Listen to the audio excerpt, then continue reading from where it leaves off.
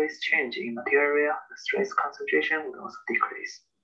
And here is the picture shows the contents to gradient. It could be the material composition, the element dimension, the arrangement, and orientation, and so on. One of the potential application of FGM in the industry is used in the T-junction part of pipe. At the T-junction, the turbulence caused by the mixing of hot and cold fluid has attracted many researchers' attention. Because the temperature fluctuation in the mixing part may lead to the high cycle thermal fatigue in the pipe. And there are three kinds of flow types at the T-junction. Depending on the momentum ratio, flow at the T-junction can be classified as the stratified flow, deflecting flow, and in-piping flow. According to the research conducted by JAEA, the stratified flow case will have largest temperature fluctuation, which may affect pipe most.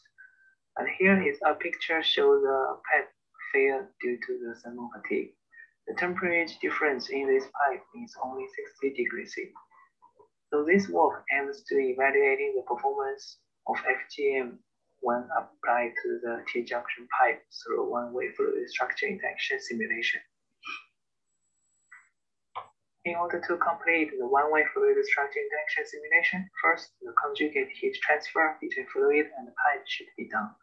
Simulation work in this study was conducted on the Ansys Fluent. Here is the schematic of simulated T-junction pipe. The flow in the main pipe, in the main pipe has a 48 degrees C temperature and 1.46 meter per second velocity, while the flow in the branch pipe has lower temperature, 33 degrees C and 1 meter per second velocity. By calculating the momentum ratio, the simulated flow is a stratified flow. The flow and pipe parameters are same with the WATLON experiment conducted by JAEA. For simulating the FGM in the numerical software, the layered model was used, and three models are used in this study. The one layer structural steel pipe, which can be treated as the homogeneous material pipe. And the two layer is the traditional composite material, and end layer is the FGM pipe. The graded two material is structural steel and low thermal conductivity ceramic. In the eight-layer model, the material property is calculated from the power law distribution of FGM, and this power law index in the eight-layer model is 1. So before going to the T-junction pipe simulation, the performance of using layer model to simulate FGM is checked. A transient heat conduction problem in FGM pipe was conducted, as shown in this picture. The pipe has graded thermal conductivity and specific heat.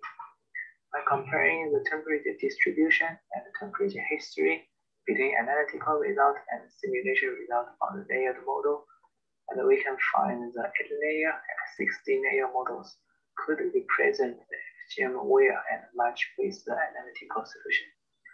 This shows the feasibility of using layered model to simulate FGM in numerical software. So back to the T-junction case. After the validation and verification of mesh setting, the final decided mesh information is here. The first layer of fluid at the boundary has a thickness of 1.2 times 10 minus 5 meter, which ensure the Y plus value during the calculation is smaller than 1. And this is the requirement for the SST K omega turbulent mode. The average length of the mesh is 4 millimeter. And with the time step 2 times 10 minus 4 seconds, the maximum Courant number is 0.82. It also satisfies the CFL condition. And both fluid and pipe mesh has nearly 1 million nodes.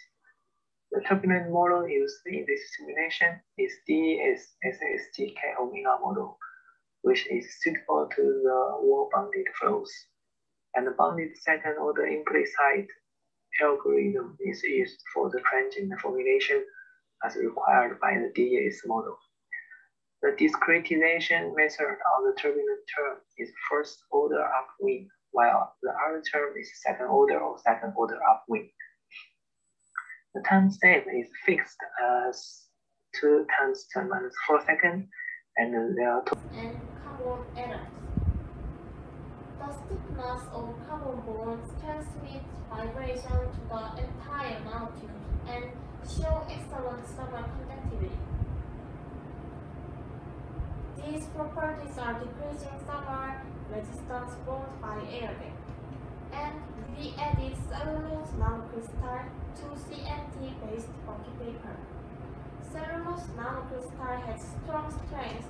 It can improve durability and reinforce heat conduction and good compatibility with other materials. Next is experimental details. These are samples that have been tested. A total of five paper samples were made. The first sample is untreated CNT. Second, oxidized CNT using sulfuric acid, nitric acid, and hydrochloric acid.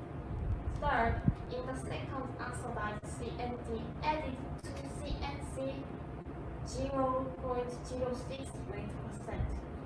Fourth, on oxidized CNT added to CNC 0.08%. Lastly, on the oxidized CNT added to CNC 0.1 weight percent. This slide bucky paper manufacturing process. First, dispersion virtual CNT. To disperse each sample, the trial process was applied for one hour, followed by ultrasonication for two hours. Second, filtration. Distilled water is filtered through the dispersed nanofluid using a vacuum filter, leaving only the volatile CNT particles. Lastly, the filtered virtual CNT is dried one day and separated from the membrane filter. Then, the bucky paper was completed. The ASTM D5470 equation was used to calculate the thermal resistance value. D5470 is a test method that uses the thermal equilibrium method to determine the thermal conductivity of, the material by using the law that the amount of heat flowing through the sample is the same before and after. As shown in the figure 5, we drill 6 holes in two copper the surface of the copper block, insert the thermocouple and see the temperature change. This equation keeps heat on the top and cold on the bottom. When the temperature of the copper block reaches a steady state, we use the temperature to find the thermal resistance value. Figure 6 is experimental setup. A copper block was wrapped with an insulator for an experiment. And on the right, each bucky paper sample was put between the copper blocks. In all experiments, a weight of about 2 kg was applied. Next slide is resultant discussion. It is a graph of sample when the steady state is reached. Figure 7 is show temperature graph over respective channels. CNT paper untreated showed a thermal resistance value of 1.526. Next, the thermal resistance value of the oxidized CNT was 1.340.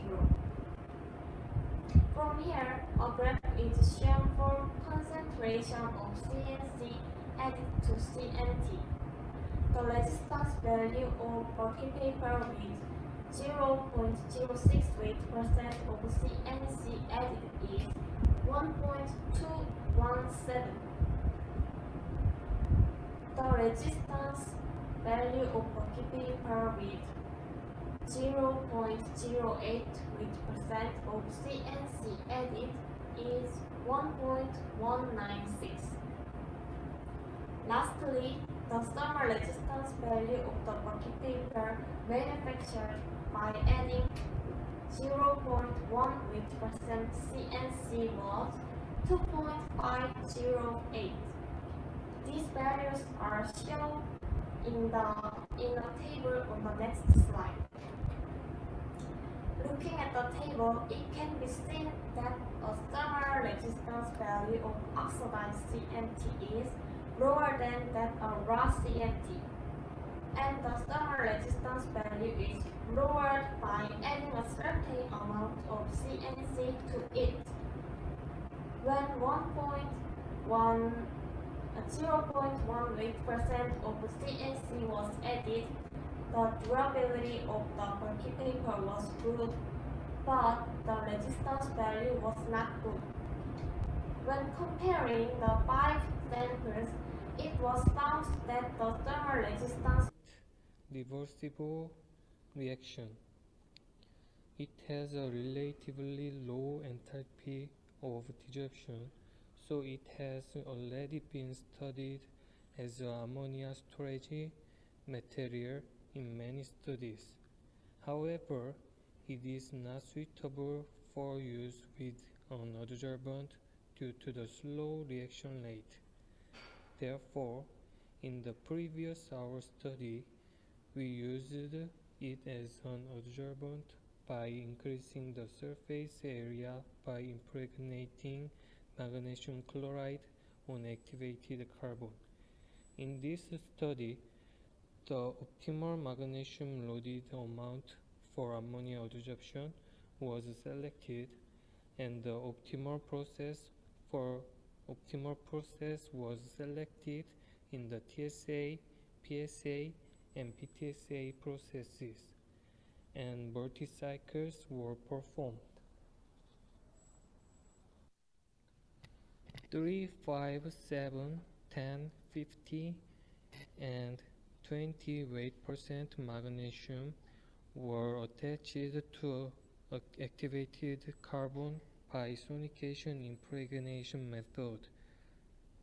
Activated carbon with nothing impregnated was named AC, and thus with 3 weight percent magnesium impregnated was named AC MG3.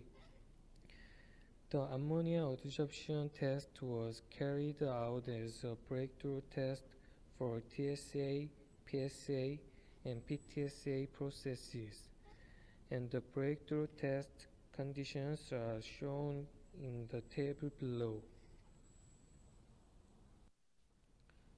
As a result of the BET analysis, the surface areas and pore volume of samples tend to decrease when magnesium was impregnated. However, the reduction in surface area and pore volume is insignificant when the amount of magnesium impregnated is more than 10 weight percent. In addition, the average pore size was constant for all adsorbents. As a result of TJ analysis, AC showed a rapid weight loss at 480 degrees, leaving a final 0.67 weight percent residue. On the other hand, the final weight of the magnesium loaded ACs are higher, higher than that of AC, so we could confirm that the metal was successfully impregnated. Weight loss of magnesium loaded ACs begin at lower temperatures than AC. Nevertheless, it was confirmed that all adsorbents were thermally stable up to 360 degrees. SEM analysis was performed to confirm the surface morphology. AC confirmed a smooth surface and small particles were identified in magnesium-loaded ACs. These particles are and hydrophobicity characteristic of structure that is effective to fluid disposability. Thus, it has structure advantage such as excellent mechanical properties like low density and low density. So it was from the cellulose and we can obtain the isolation of the cellulose by acid hydrolysis usually using the sulfuric acid nowadays. Also, it is composite, composite of OH functional groups, so it has excellent hydro, hydrophilicity. I was expecting this performance uh, from OH functional group. In summary, it is low density, high strength, and elasticity, eco-friendly because it came from wood or tree. And last goodly property is hydrophilicity from the OH functional group. And third, I explain which is use the uh, measurement to experiment the drop, water angle for hydrophilic or hydrophobic. The contact angle is an optical measurement of the standard used drop shape that is measured to know fluid characteristic as a hydrophobic or hydrophilic. In, in the static contact angle, the diffuse drop lies on the surface of a solid like baseline. So as you can see, if the drop shape bigger than 90, 90 degree is say hydrophobic and smaller than uh, 90 degree, it can be say hydrophilic characteristic. So next one is experiment details. The first explanation is about the how how uh, how manufacture the various nanofluids before the manufacturing papers. There are two ways for modifying virtual CNT surface. First of all is using the nitric acid, sulfuric acid, hydrochloric acid like figure 5 is using, uh, so we call it that oxidized virtual CNT, namely OCNT. Second of all is using potassium persulfate and NaOH, NaOH like figure 6. We call it the alkalis virtuosity, namely ACNT. Or can introduce functional groups to the CNT surface and tube. So oxidation is easy to handle and a common method. The alkalization is eco-friendly and more simple method.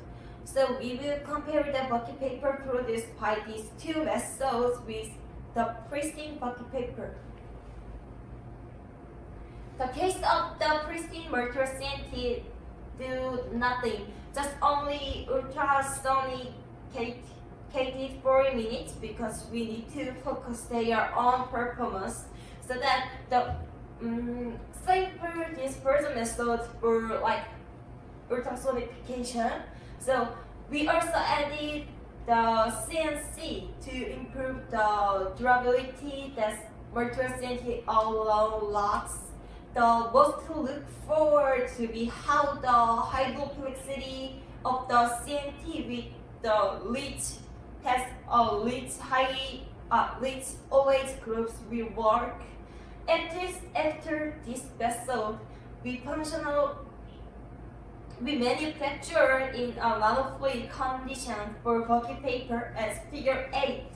Then this solution is filtered to produce bucky paper. Before the contact angle measure, we need to adjust them because first it, can, it is too big to experiment the word drop because water drop going to soak it in between tubes. So we consider that effect the result. So there is there are the reasons for uh, the accuracy of the contact and to prevent super A common problem, a common problem in electronic device is managing summer conditions for optimal efficiency. Fundamentally, we can divide the cooling technique uh, into two categories, active cooling system and passive cooling system. Active cooling refers to cooling technologies that rely on, on external device to enhance heat transfer. Active cooling system includes forced convection through fans or blowers, which can be used to optimal thermal management. The disadvantages of active cooling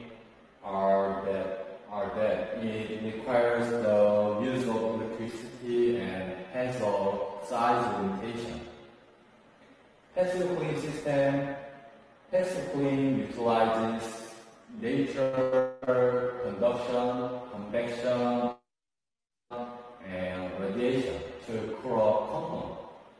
Passive cooling system includes heat pipe and heat sink, both of which utilize fundamental heat transfer principles. The advantages of passive cooling techniques lie in the energy efficiency and lower cost,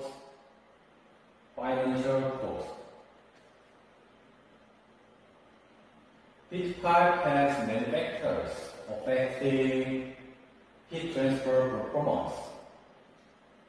I control properties of, I control three factors, properties of working fluid, filling ratio, and heat input.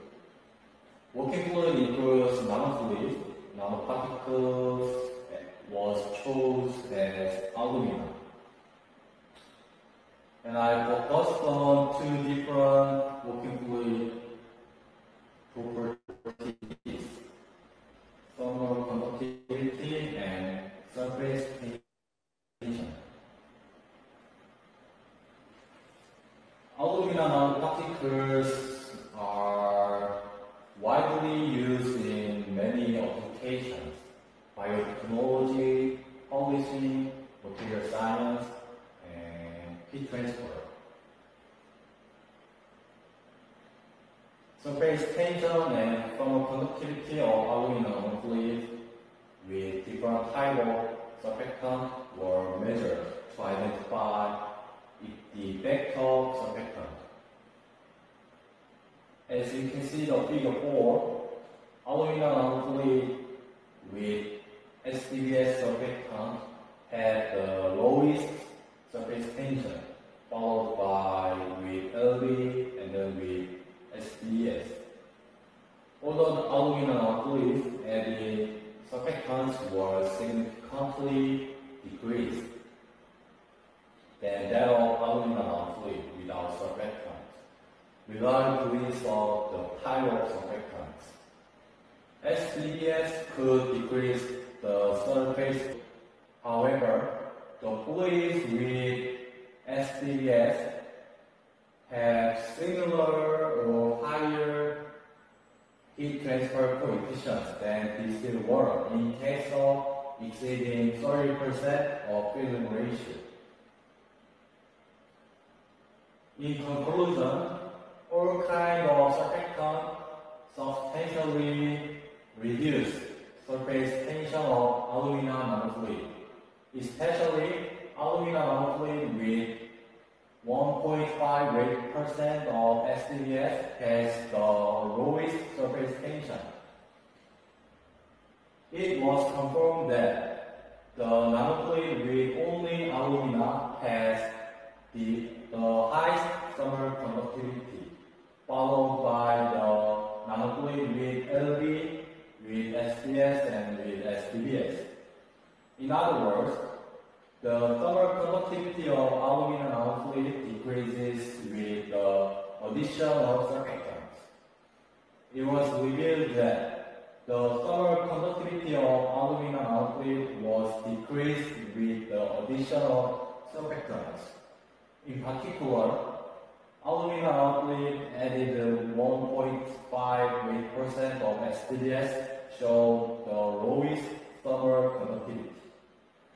The heat transfer performance of the heat pipe with solution added 1.5% of SDBS could be improved in case of filling ratio exceeding 30%.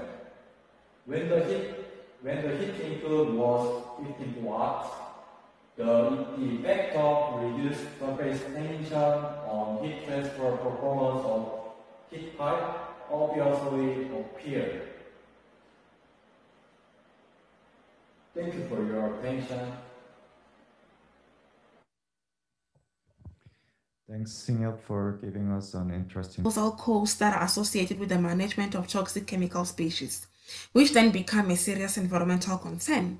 Hence, we refer to it as secondary pollution. This also contributes to incurring of additional costs. Well, that's where the United Nations Sustainable Development Goal Report comes in, which advocates for circular economy in waste beneficiation, thereby moving away from waste disposal. Different studies have been focusing on value recovery and valorization. In value recovery, we talk about minerals that are recovered through different technologies such as precipitation, adsorption, filtration, coagulation, just to name a few. This study opted for selective precipitation in the recovery of dimetal composite from authentic acid mine drainage. Different studies have reported that aluminium and iron have strong affinity to chromium, and the techniques thereof have been successfully employed.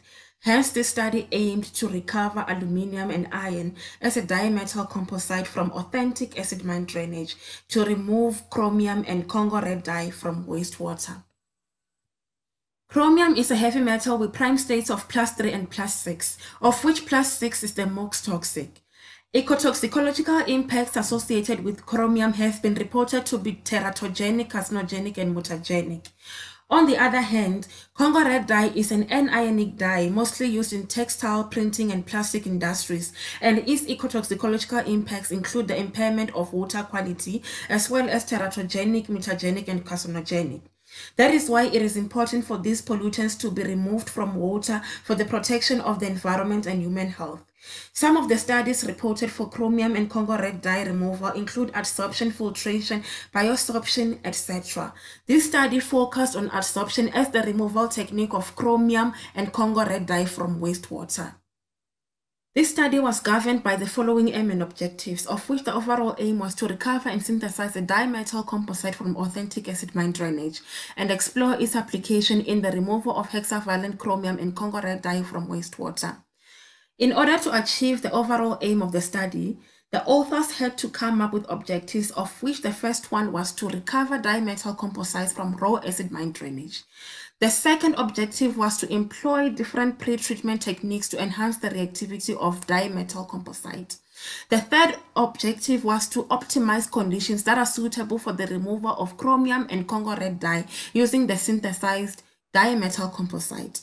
The fourth one was to characterize the dimetal composite before and after adsorption. The fifth one was to compare the product water quality at optimized conditions with the World Health Organization water quality standards. In order to achieve the outlined aim and objectives, the following materials and methods were used. Iron-rich AMD was collected from a coal mine in South Africa. Chromium-6 and Congo red dye solutions were simulated for optimization experiments. The dimetal composite was recovered and synthesized via selective precipitation. For the adsorption of chromium-6 and Congo red dye, a batch experimental approach was adopted where concentration, pH, agitation, time, temperature, and dosage were optimized. FTIR, SEM, EDX, TGA, and BET were used for the characterization of a dimetal composite before and after adsorption. As reflected in the table, AMD characterization results showed that the raw AMD is rich in iron, aluminium, manganese, and sulfates, and this made it viable for the recovery of iron and aluminium dimetal composites. SEM and EDX EDS show the surface morphology and the elemental composition of the recovered and synthesized dimetal composite, respectively. From the elemental composition, we see the presence of iron and aluminium recovered from raw acid mine drainage. The FTIR shows the functional groups that are in the composite, and we see the presence of hydroxyl group and water. The BET shows the surface area and porosity of the compound. The BET shows the surface area and porosity of the composite, where we see that the surface area of the material is 24.62 square meters per gram, while the TGA gives the stability in the thermal sense of the material. Optimization results of adsorption revealed that 50 milligrams per liter of chromium concentration was found as the maximum concentration that the material could. Electrochemical um, supercapacitors can be divided into two types that is electric double layer capacitors and pseudocapacitors. Uh, electrostatic uh, electric double layer capacitors uh, works on the principle uh, of uh, the charge separations uh, in Helmholtz double layer at the interface between the surface of the electrode and electrolyte. Uh, generally, carbon-based materials are used as the electrode materials for EDLCs. And uh, next is the electrochemical pseudocapacitors. These generally use metal oxide and conductive polymers as the uh, electrode materials. Uh, this generally pseudocapacitance is achieved by the Faradic electron charge transfer with redox reaction, intercalation and electros electroabsorption of the uh, electrolyte. Um, here in this um, uh, work I present uh, I use manganese dioxide as um, uh, the electrode uh, materials because of its very uh, cheap uh, natural abundance, uh, um, high theoretical capacitance, very low toxicity and variable oxidation states uh, of 2, 3, 4, 5 and 7. The main interesting features in manganese dioxide is its variable oxidation states and uh, it can exist in different crystalline phases uh, that is alpha, beta, gamma and delta phase. Uh, here in this experiment I have used to uh, used alpha MnO2 alpha manganese dioxide for the electron materials because of its unique structure um, uh, uh, that has uh, it has the 2 into 2 tunnel and uh, 1 into 1 tunnel. Uh, the 2 into 2 tunnel present in this alpha MnO2 that helps to um, easy electron transfer during the charge and discharge process. And um, it is it has the sta stable in nature also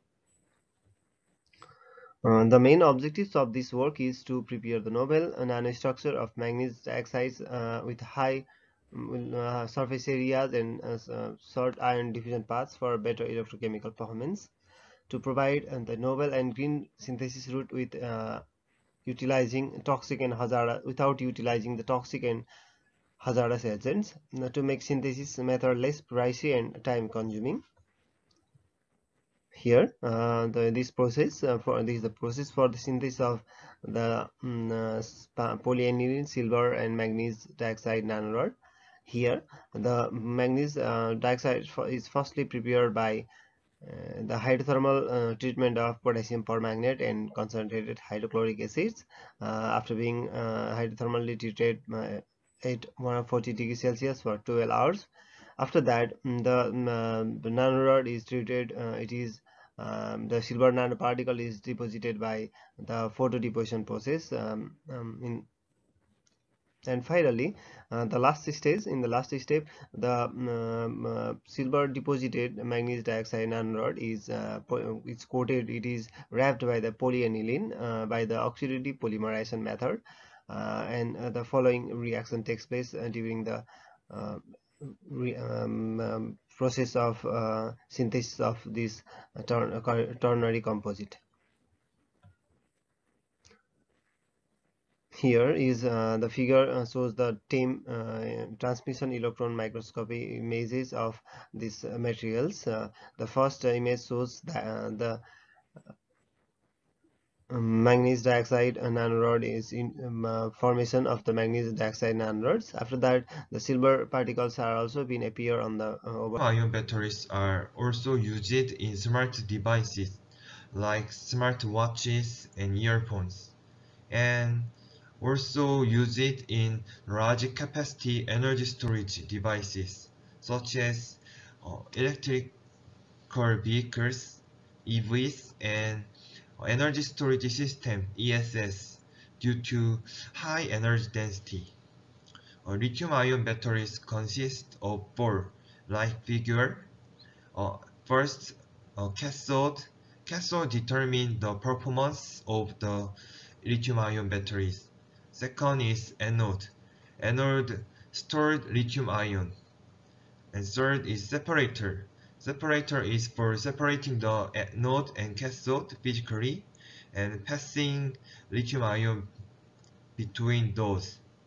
Uh, final component is electrolyte. Electrolyte probe pathway for lithium ions. Uh, in the charge discharge process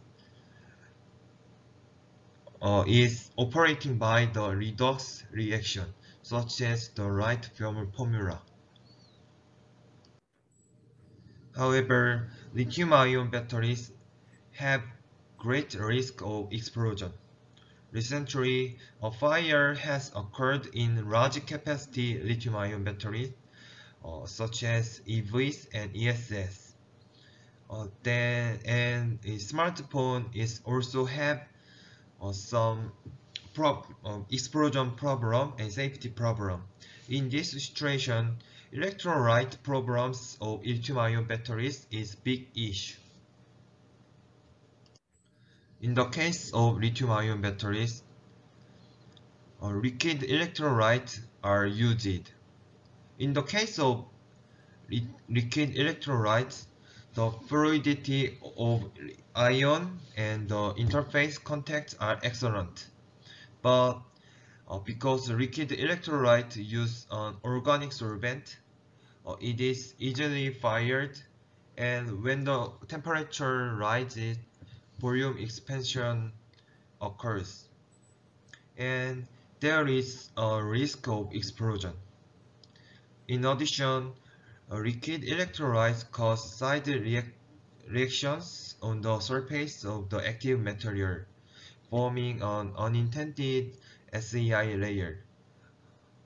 And SEI layer creates poor battery performance, and liquid electrolytes are decomposed at high voltage and have limitation to manufacture vari various shape of batteries because uh, it is liquid. Uh, in order to solve this, these problems, uh, solid electrolytes are being continuously researched. And this presentation is also for researching solid electrolytes. The figure on the left is requirement of solid electrolyte. Basically, in order to operate as an electrolyte, it must have high ionic conductivity and be electrochemically and chemically stable. Uh, it should also have strong physical stability against fire and pressure. In the case of a solid electrolyte, the interface between the electrode and the electrolyte is contacted with solid interfaces. Solid-state method was used. First, NCA is ground so that it can be evenly mixed with the biomaterial, which is a coating source of nitrogen-doped carbon, and then calcination is performed at 500 degrees to obtain nitrogen-doped carbon coating layer from the NCA. From now on, the NCA on which the nitrogen-doped carbon coating layer is formed will be called as a NC.NCA. In order to compare the structural properties of bare NCA and NC.NCA, the XRD analysis was firstly measured. As a result of confirming the XRD pattern between bare NCA and NC.NCA, it was confirmed that the nitrogen-doped carbon coating layer did not affect the structural change of the NCA as the XRD peak was the same except for a very small peak difference. And for checking valence state of the elements of NC.NCA, XPS analysis is performed. Through the XPS data of NC.NCA, the peak of nickel, cobalt, aluminum, and oxide of the existing NCA were confirmed, and in addition, it was confirmed that the carbon and nitrogen peak, so through these results, it can be said that nitrogen-doped carbon coating layer was formed on the NCA surface. And despite the formation of the coating layer, the nickel, cobalt, aluminum, and oxide peaks do not change. So the nitrogen-doped carbon coating layer does not significantly affect the composition of NCA. In addition, the two peaks appearing in the nitrogen peak are pyridinic nitrogen and graphitic nitrogen, respectively, from the left, and between them, pyridinic nitrogen has an advantage in improving the element electrochemical performance of the active material so therefore, it can be said that the electrochemical performance of NC.NCA in which pyridinic nitrogen is formed has improved. Next, it was measured through HRFSM to confirm the morphological change of the samples. As a result, in the case of bare NCA, the surface was rough and fine particles were not found but in the case of NC.NCA, the surface was smooth and fine particles were found on the surface. Through this, it was confirmed that a change appeared on the NCA surface by forming a coating layer. In addition, as a result of confirming the elemental composition of NC.NCA through EDS mapping, it can be confirmed that the nitrogen-doped carbon coating layer was formed on the NCA through the fact that carbon and nitrogen appeared in addition to nickel, cobalt, aluminum, and oxide of NCA.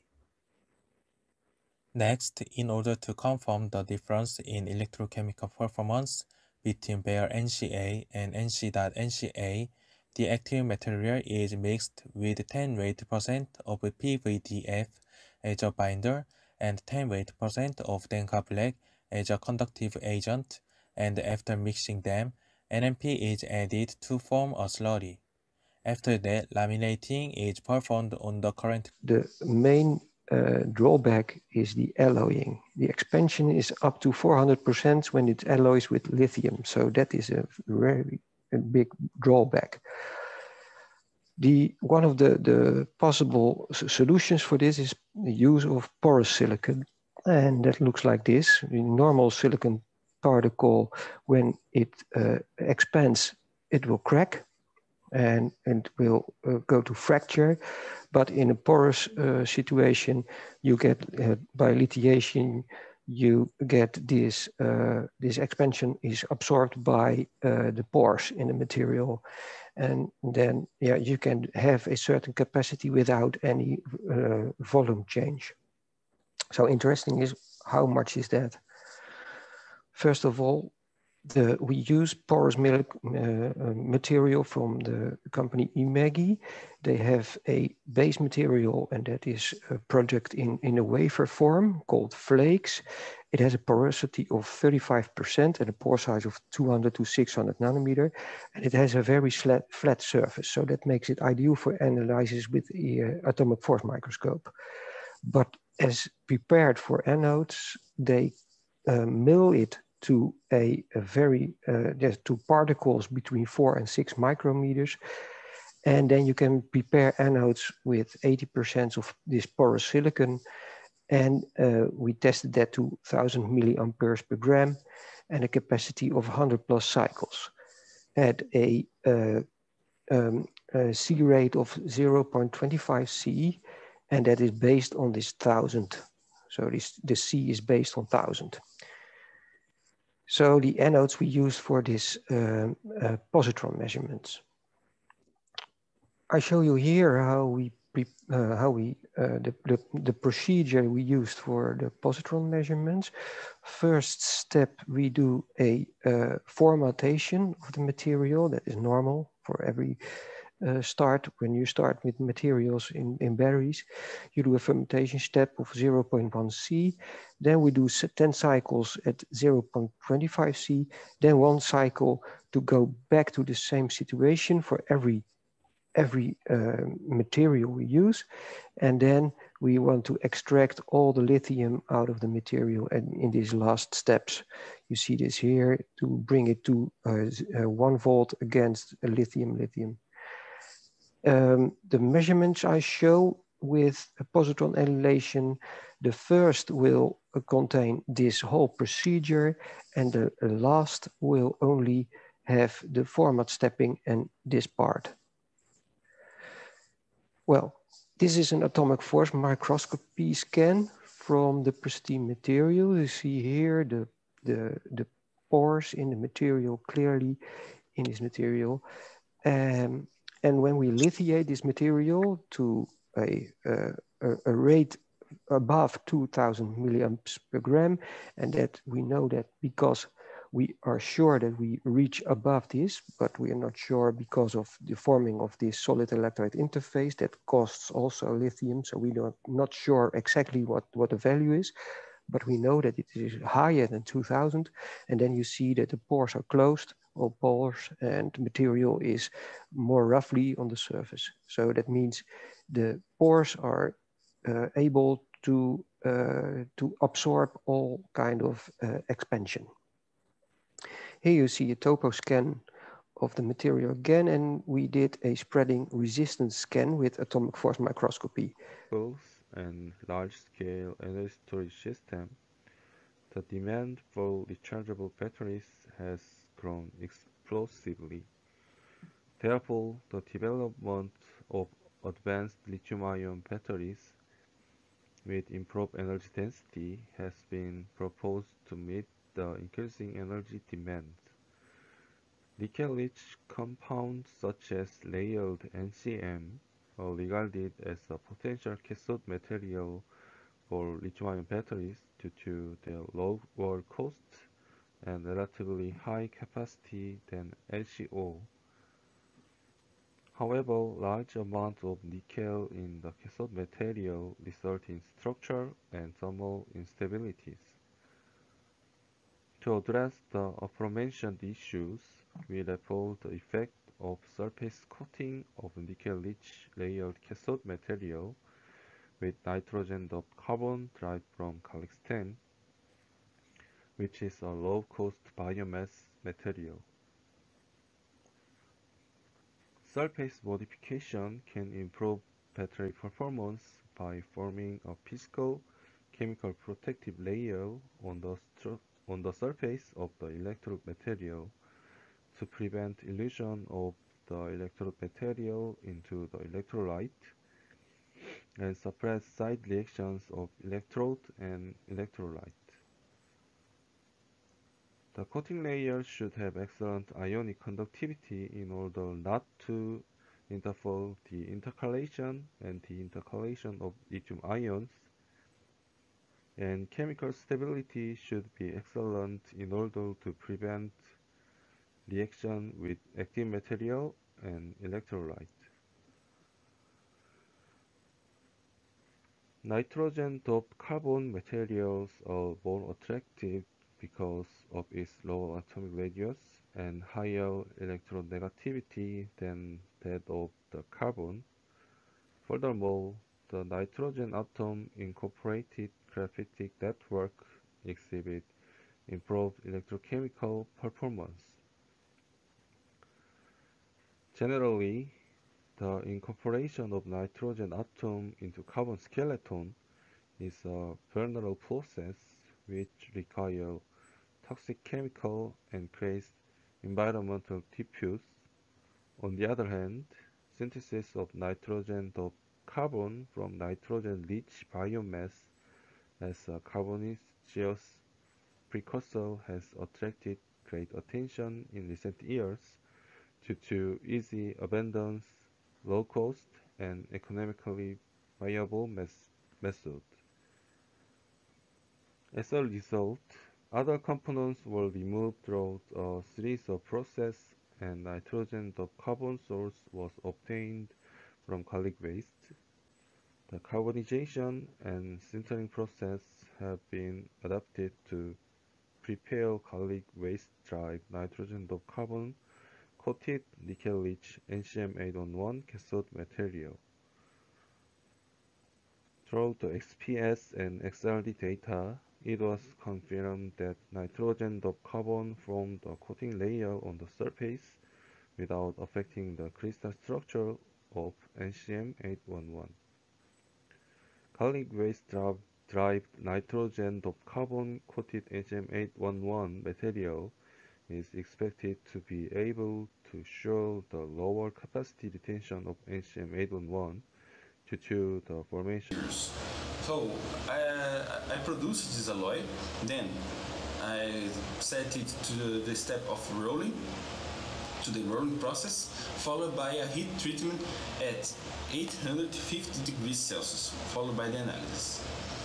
For the alloy of 6.9% weight titanium, I set it to the rolling process, followed by the heat treatment of 1100 plus uh, 1250 Celsius degrees, followed by the analysis. Analysis that are SMM, SNM, X-ray diffraction, and the magnetic analysis. This is the apparatus that I use for measuring the magnetic properties. It uh, has a magnetic core in U shape. The primary, primary coil, which, which will produce the applied magnetic field, and the sample comes here. To measure the magnetic induction, it, uh, we, I braided a coil in the sample, and to measure the magnetostriction, we used uh, strain gauges. Now, the results and discussion part, I will start, start talking about the SEM results. The main difference between both alloys is at the grain size. We can see here that the the grain size of the 6.9 titanium alloy is about 10 times larger than the 3 percent alloy. That is probably because of the difference between the temperature of the heat treatment. At this time, when I was studying the 3% alloy, uh, we are trying to obtain a abnormal grain growth. And at this temperature of 850, it's at the dual phase region of the phase di diagram. Uh, at uh, 1100 degrees, the 6.9 titanium alloy also is in the dual phase region, but at 1250 it's on the single phase region of the of the phase diagram. That's why we choose to make the, uh, the, the end of the heat treatment at this temperature to eliminate the secondary phase. Well, the X-ray diffraction show that in both alloys, the only phase that is present is the iron alpha. The difference between them is that the, for the 3% alloy, the most intense peak is relative to the plane 211, and the second most intense peak is relative to the 200 plane. While for the iron alpha pattern is the 110. The most intense peak is relative to the 110 plane. This can tell us that maybe a texture has been formed in this sample, while for the 6.9 sample it follows the the pattern it follows the pattern. And unfortunately, due, to COVID situation, I wasn't able to do the EBSD for this sample, but it will be very interesting to analyze these results. Now about the B, the induction, magnetic induction versus magnetic field, the hysteresis curve. Well, the 3% alloy has a higher value of the maximum form. Uh, confirmation about zinc, cobalt, and the selenium also confirmed, and the EDOX spectrum also confirmed the uh, material weight, percentage, and atomic weight percentage also. And uh, another advantage of uh, uh, in this uh, in this time, we use uh, spinel structure of uh, zinc and the cobalt, how to last energy in the shell. Energy shell and the L, L shell and the uh, L2, comma 3 and L2, comma 3 for cobalt and zinc. Here I, I, I mistake for here. This one is the cobalt, this one is the zinc. So cobalt energy loss is uh, around uh, 780 and the zinc uh, energy loss is 1040 uh, energy level, uh, energy electron volt and the selenium also loss of electron is present for 1440 I think. Uh, so uh, selenium compound is mostly energy lost for uh, in this comparison of spinel structure of oxide, spinel structure of sulfide and spinel structure of selenide. So density of state is, high. That's why uh, electron loss is highly lost for selenium compound compared to oxide spinel, compared to sulfide spinel, selenium is the highest electron loss. So here, uh, here explain for elemental compo uh, composition of uh, zinc cobalt oxide, zinc cobalt sulfide, zinc cobalt selenide spaced spinel structure uh, with uh, supported and reduced graphene oxide. For this one overall uh, overall uh, elemental composition of zinc cobalt oxide, sulfide, and selenium. Uh, here uh, we we clearly uh, clearly uh, point out for uh, zinc uh, cobalt zinc uh, metal is uh, changed the uh, variation of oxide and sulfide and selenium uh, special structure. And here cobalt uh, element is uh, how to change the uh, anion of oxide, sulfur and selenium, how to change the structure and reaction condition also change the cobalt cobalt based only because cobalt is the active material in this spinel structure. Then here carbon when we use the uh, reduced graphene oxide to change the uh, anion oxygen and sulfur and selenium also change the structure and uh, modify modify the electron negativity and electron affinity also present here. Clearly we explained. So here another advantage of uh, analysis spectrum uh, analysis spectrum of x-ray absorption spectroscopy in cobalt K-edge the K-edge is uh, energy energy page of uh, uh, electrons energy lost energy exchanged to uh, ground state to on a excited state. So uh, we confirm the sinus spectrum and the extra spectrum uh, of uh, zinc cobalt oxide spinel zinc cobalt sulfide spinel and zinc cobalt selenium uh, spinel structure.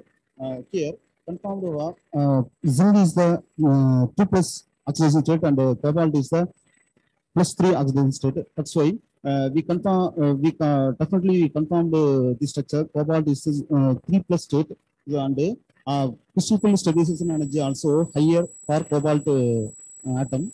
Uh, so here change the anions uh, spinel for oxide spinel is present this one. Uh, so uh, here confirmed cobalt oxide and cobalt uh, cobalt metal um, coordination uh, coordination of uh, octahedral state and the coordination of uh, zinc and cobalt and tetrahedral state is present. So confirmed the uh, oxide structure.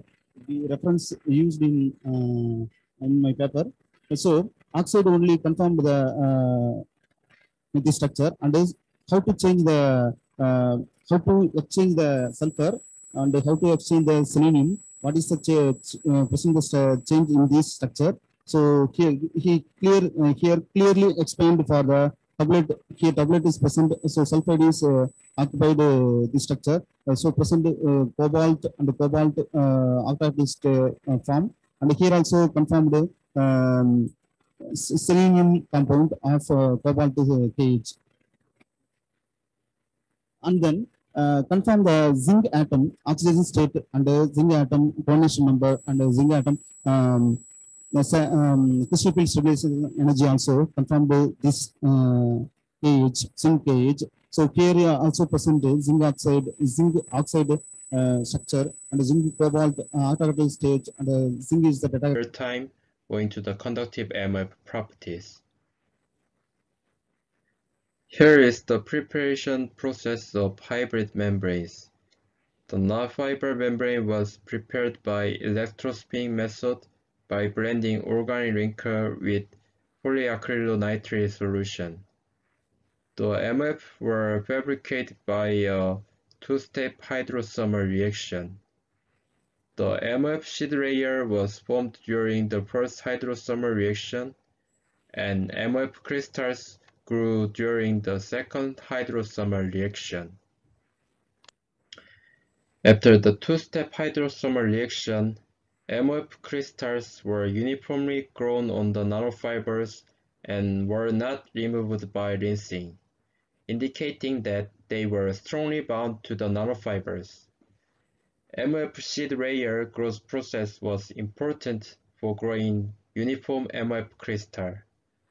When synthesized on nanofibers without the seed growth process, the MF crystals grew non-uniformly on the nanofibers and were easily removed by rinsing. The two-step hydrothermal reaction on PAN nanofiber without organic linker also yielded weakly bound MF crystals with a non-uniform growth distribution. The effect of precursor concentration on the MF morphology was investigated. As the MF crystals grew on the nanofiber surfaces, the average diameter increased. In addition, increasing the precursor concentration increased the average size of the protruded crystals. Also, figure D shows the current voltage characteristics of hybrid membranes. The sheet resistances of sample 1, 2, 3 were about 40 megaohm, 6 megaohm, and 2 megaohm per scale respectively. Increasing the precursor concentration decreased the electrical resistance by increasing the thickness of the conductive MF. XRD and FTIR data also confirmed that MF crystals were successfully grown on PAN nanofibers. The optimized sample's pressure drop was only slightly higher than pristine PAN membranes, indicating that hybrid membrane still has good breathability. However, the pressure drop across sample with high concentration precursor was nearly twice that of optimized sample because unwanted MF clusters were clogged on the pore of the nanofiber membrane. The filtration efficiency of hybrid membrane was compared with pristine membrane which has similar pressure drops. In the case of solid particles such as fine test dust, both membranes showed very good efficiency. But in the case of smoke PM, which is old-type liquid droplets, hybrid membrane showed much better filtration efficiency. SEM images of the smoke captured by pristine PAN membrane exhibited a series of axisymmetric droplets which are formed by adhered wetting liquid. But hybrid membrane exhibited no obvious axisymmetric droplets. Instead, The material can highlights the regulation of interfacial and electronic synergy of highly efficient and durable supported catalysts for oxidation and reduction electrocatalytic applications. Also, in the resultant discussion part, the crystal orientation and carbon defect evaluation were evaluated by the famous XRD and Raman analysis. So in the figure A and B, where the ultimate catalyst PT iridium copper cerium oxide doped on nitrogen sulfur graphene oxide possess the high crystallinity with parent and comparison materials and the graphene impact increasing gradually in the Raman analysis structure of each materials. Further, the surface characterization were evaluated by AFM analysis. The topography images of 2D and 3D shape clearly shows the surface study of PT iridium copper trimetals on graphene oxides. Additionally, to gain the in-depth insight into the structural and electronic characteristics of prepared nanocomposite interfaces were evaluated by FESEM and CS TEM analysis. The images shows the single nano ball formation of trimetals over the graphene oxide. The both FESEM and CS-TEM analysis, the EDX elemental mapping strongly supports the metal formation of ultra-fine weight ratio preparation of PT iridium copper.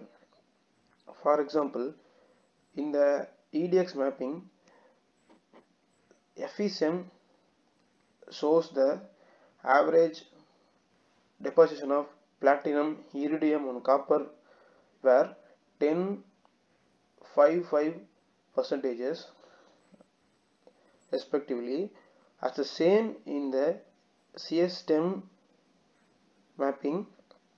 It's also around 10 4.5 and 5 which strongly supports the ultra fine deposition of nanometals on the graphene sheets. Also the radical scavenging supporting material of semi-broken ball-shaped cerium oxide also evaluated using FESEM analysis where the nanoparticles of cerium oxides are evenly distributed on the graphene sheets. The average size of the cerium oxide nanoballs are around 500 nanometer to 700 nanometer and in the case of PT iridium copper metal the average size of each metal uh, evenly characteristics of AMFC received recent attention as a promising energy conversion system. As it is more energy efficient, it is more advantageous than conventional internal combustion engines. Moreover, it doesn't emit pollutants and is less noisy. However, there is a problem with AMFC. When hydroxide ions are exposed to carbon dioxide, bicarbonate is produced which decreases the fuel cell performance. Also, the durability of the polymer materials in alkaline environment is a big issue. Let me expand more on the polymer materials for AMFC. As we know, both the membrane and the electrode ionomer are polymer materials, and they both conduct hydroxide ions. However, the membrane must have a low gas permeability and high mechanical strength, because gas supplied from both sides of anode and cathode should not be crossed over. On the other hand, the electrode ionomers must have high gas permeability for electrochemical reaction, but it doesn't have to have high mechanical strength. Furthermore, these ionomers work as a binder to prevent the membrane and the electrode from falling apart, which makes the interfacial compatibility with the membrane important. As you can see, there is a growing trend in the research on polymer materials in the AMFC field to this day. To improve the alkaline stability and the hydroxide ion conductivity, researchers are studying various polymer structures by using different kinds of polymer backbone and cationic groups. So, what are some issues regarding polymer materials? One is the chemical degradation of the backbone in alkaline environment. The ethyl group is used to increase the flexibility of the membrane, but it is vulnerable to hydroxide ion attack. In particular, it breaks more easily when there are electron withdrawing groups. So, polymers including the ethyl structures such as polyether sulfone and polyphenylene oxide cannot last long enough. The other issue with polymer materials is about the electrode ionomers such as the absorption of phenyl groups in the catalyst layer. The phenyl absorption on platinum catalyst blocks the electrochemical active site and decreases the AMFC performance.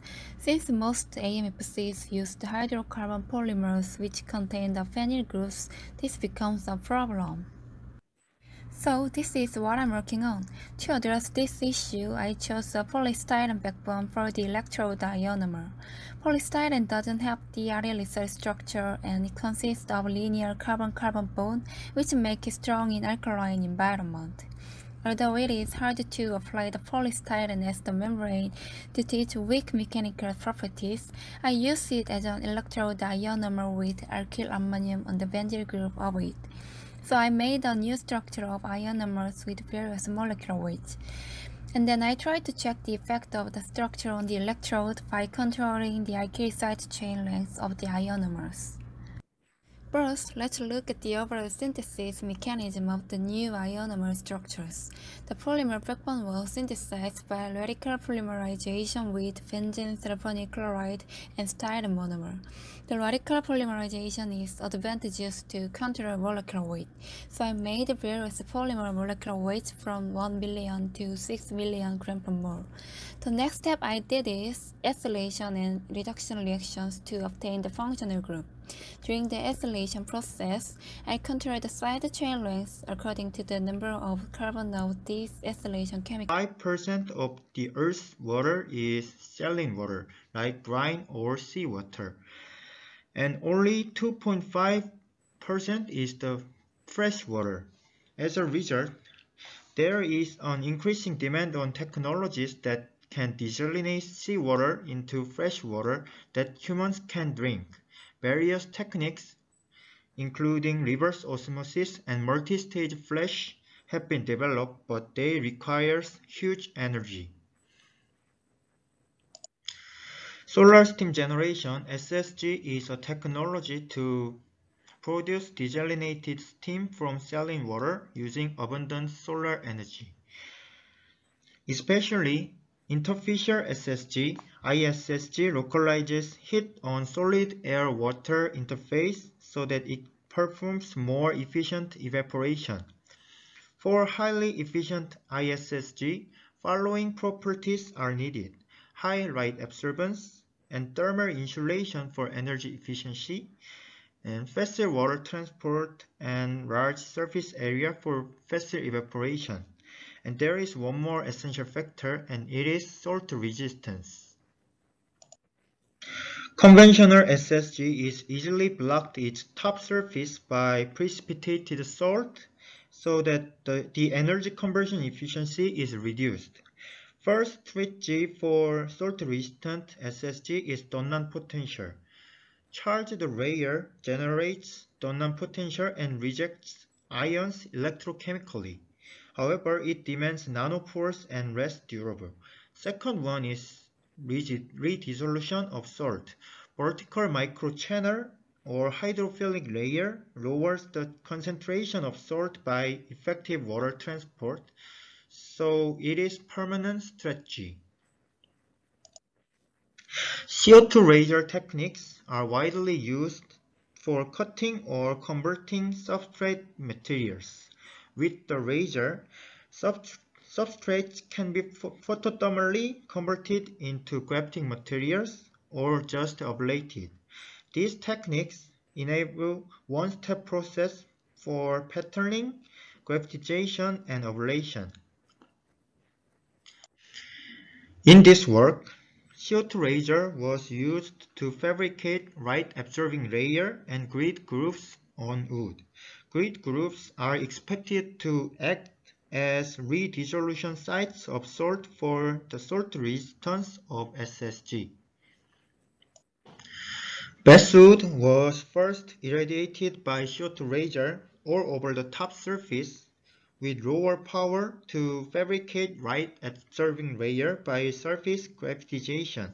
Then grid grooves were fabricated with higher laser power. The morphology of LIG wood was studied with SEM. A few to hundred micrometer sized vertical microchannels are retained even after repeated laser irradiation. The microchannels can facilitate the water transport. LIG-F wood has a smooth surface like basswood, and LIG wood has grooves in a square grid. Raman spectroscopy and EDS show the chemical changes after laser irradiation. While only a broad background was observed for basswood, the character mark nanostructured composites with ceramic pillars embedded in the uh, polymer matrix. And uh, the schematic shows also the AFM probe used for probing the piezo local piezoelectric measurement, which is the aim of the research. We use here the lead-free piezoelectric uh, material NBT and the highly electroactive fluorinated polymer PVDF TRFE for synthesis of these nanostructured composites. Sodium bismuth titanate introduced by the Smolensky in 1961 recently studied well for its room temperature ferroelectric properties. The room temperature crystal structure is a rhombohedral structure with R3C distortion and the ferroelectric order is driven by the bismuth driven uh, titanium distortion. The schematic shows the structure of uh, NBT crystal with uh, sodium and bismuth uh, occupying the corner of the crystal and titanium occupying the uh, octahedral void by the uh, oxygen.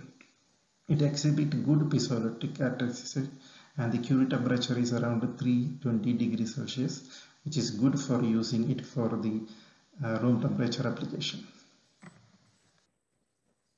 Introduction to the copolymer PVDF TRFE. Out of the five different crystal conformation of PVDF molecule, when, added with the 20 to 60 percentage of TRFE, the molecular chains form all trans TTTT conformations without any mechanical stretching or electrical uh, the Curie temperature of the PVDF TRFE with the addition of the TRFE molecule ranges from 137 degrees Celsius to 90 degrees Celsius. With the addition of 20 percentage of TRFE, uh, it will have a Curie temperature of 134 degrees Celsius, which is above the good room temperature. It has also high remanent polarization and uh, comparatively good piezoelectric coefficient, high thermal stability and energy tra uh, transfer as well. this schematic uh, shows uh, the all transformation of the PVDF TRFE molecule. Coming to the experimental details, results and descriptions. Synthesis of uh, LNO layer as a substrate. We use RF magnetron substrate deposition method to fabricate 200 nanometer of uh, LNO on top of the SiO2 SA substrate. Um, the XRD analysis shows 001 oriented growth without any impurity phase. Uh, the topography is shown here uh, with an RMS roughness of around 3.3 nanometer. Similarly, we fabricated BNT uh, on top of the LNO SiO2 SA substrate using the RF magnetron spectrum method. Uh, the XRD uh, analysis shows the 001 oriented of the uh, BNT uh, layer on top of the 001 oriented LNO layer uh, also without any impurity phase. The AFM topography is uh, presented here uh, with an RMS roughness of around 5.8 nanometer. PFM domain imaging of the BNT thin films. Uh, the picture shows the topography corresponding out of plane amplitude and out of plane phase of the PFM domain imaging uh, on top of the BNT thin films. Here we can see that most of the grains are a single domain with uniform polarization. Also some domains extends towards the adjacent grains. After uh, evidencing that significant focusing our attention on this aspect and we could successfully convert the resistance modulation for identifying the gases present in the environment. The gas sensing aspect. There is a growing concern over environmental issues and its impact on ecosystem in the present day, in the present day world. In our daily life, we are exposed to different kind of gases, whether it be in our domestic or industrial or public environment. Some of the gases are used for as fuel. They are explosive gases and highly inflammable and explosive. Some of the gases are used as rea reagents and some of them are used as catalyst for different kind of industrial application. Some of the gases are highly toxic. Some of the byproducts of the gases and, and even the gases itself are causing greenhouse effect. Hence, it is highly imperative to test, to detect, control and monitor the presence of the gases for the normal life and for the protection of our environment. Initially, metal oxide based on SNO2, ZNO, TiO2, WO3, etc. have been extensively studied for gas sensing application. Due to the growing demand from the industry, researchers diverted their attention to other type of materials. In that way, binary and ternary metal oxide came into the field. Our research area belongs to this class of materials. The highlight of our study is we have used very low concentration level of test gases for gas sensing studies and the, the material shows significantly high gas sensing response. The test gases used for the study are carbon monoxide and methane. Oxygen present in air is the oxidizer. When the material is exposed to the test gases, the resistance decreases to a minimum value and on exposure to the oxidizing gas, the resistance returns to the initial state. The response magnitude is defined as S is equal to R0 minus Rg divided by R0 where R0 and Rg are the resistance in air and test gas.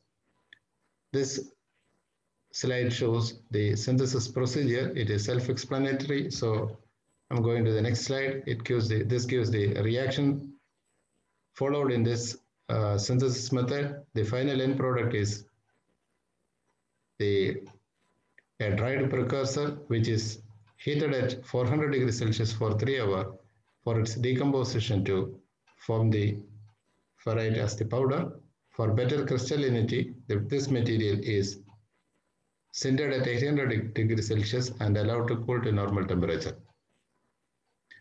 The final powder is subjected to a different type of analysis. This is the powder diffractogram of the sample. Each peaks are identified using Bragg's plane and it is compared with the standard reference. It is observed that the X-ray diffraction peak of uh, Fe3O4 agrees well with the observed pattern and there is a minor presence of alpha Fe2O3 and NIO in the sample.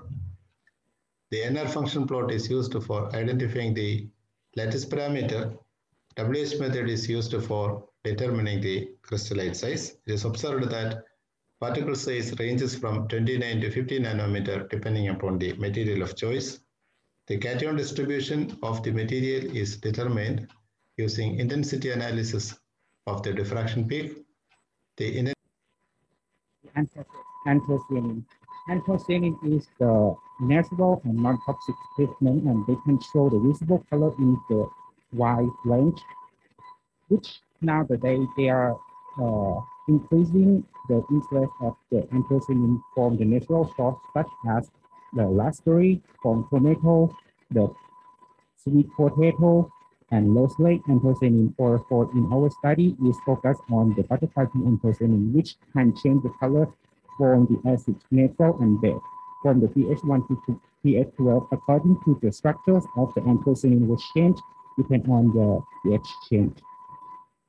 And butterfly pea anthocyanin is the plant form family Fabaceae is the commonly found in the throughout of the Southeast Asia and the have the light blue petal from the flower and have the rich of the anthocyanin.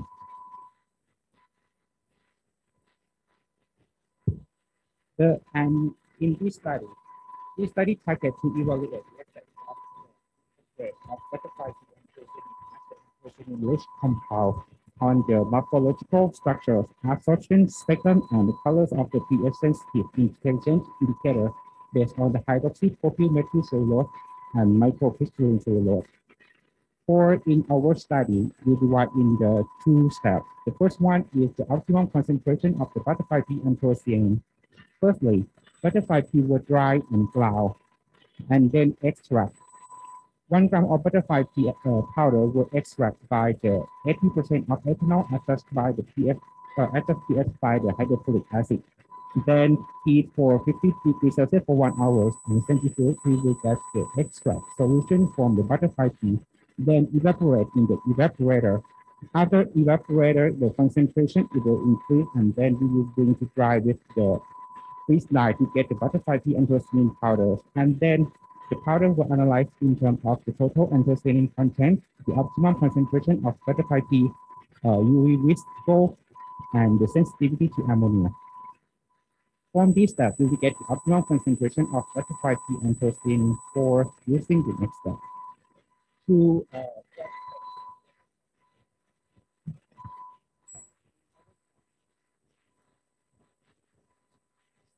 hydroxypropylmethylcellulose and microcrystalline cellulose to microcomposite the gene as the gene for indicator. 16 gram of HPMC mixed with 4 gram of MCC and drain with uh, eye water homogenized at 10,000 RPM and heat at 30 degrees Celsius for one hour. After that, reduce the temperature to 50 degrees Celsius for one hour and then add the anthocyanin solution. After that, tourniquet, tourniquet to remove the bubble and 40, uh, 40 milliliter test on the polystyrene dish. Then dry at 40 degrees Celsius for 24 hours, and then we will get the indicator for uh, MCC, HPMC, MCC, butterfly pea, and protein. Then indicator will analyze mechanical property, same and SDAR and sensitivity to the ammonia. This picture, you can see the, uh, the color change of the butterfly pea anthocyanin solution in the various pH. In the left picture, you can see the change of butterfly pea anthocyanin and it's clear the colors of the butterfly pea anthocyanin were changed. Uh, the color from pink to yellow from the 1 to 12. And also in the right side of the picture is the absorption of the butterfly pea anthocyanin solution in the. These and factoring should be investigated. However, early study on CNTRC mostly focus on the material characterization and so and analytical study using classical laminated plate theory or post-order cell deformation theory.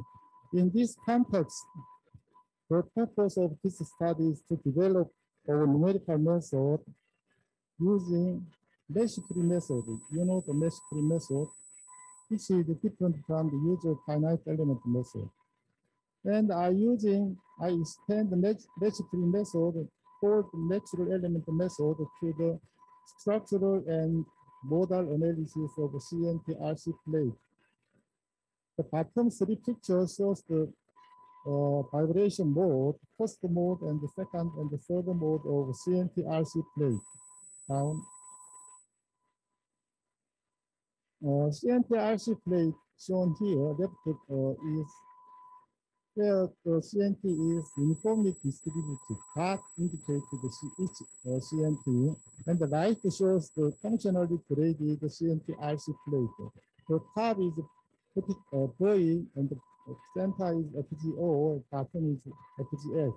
And the volume fraction through the thickness is uh, expressed by the function of volume fraction per star and the vertical coordinate g.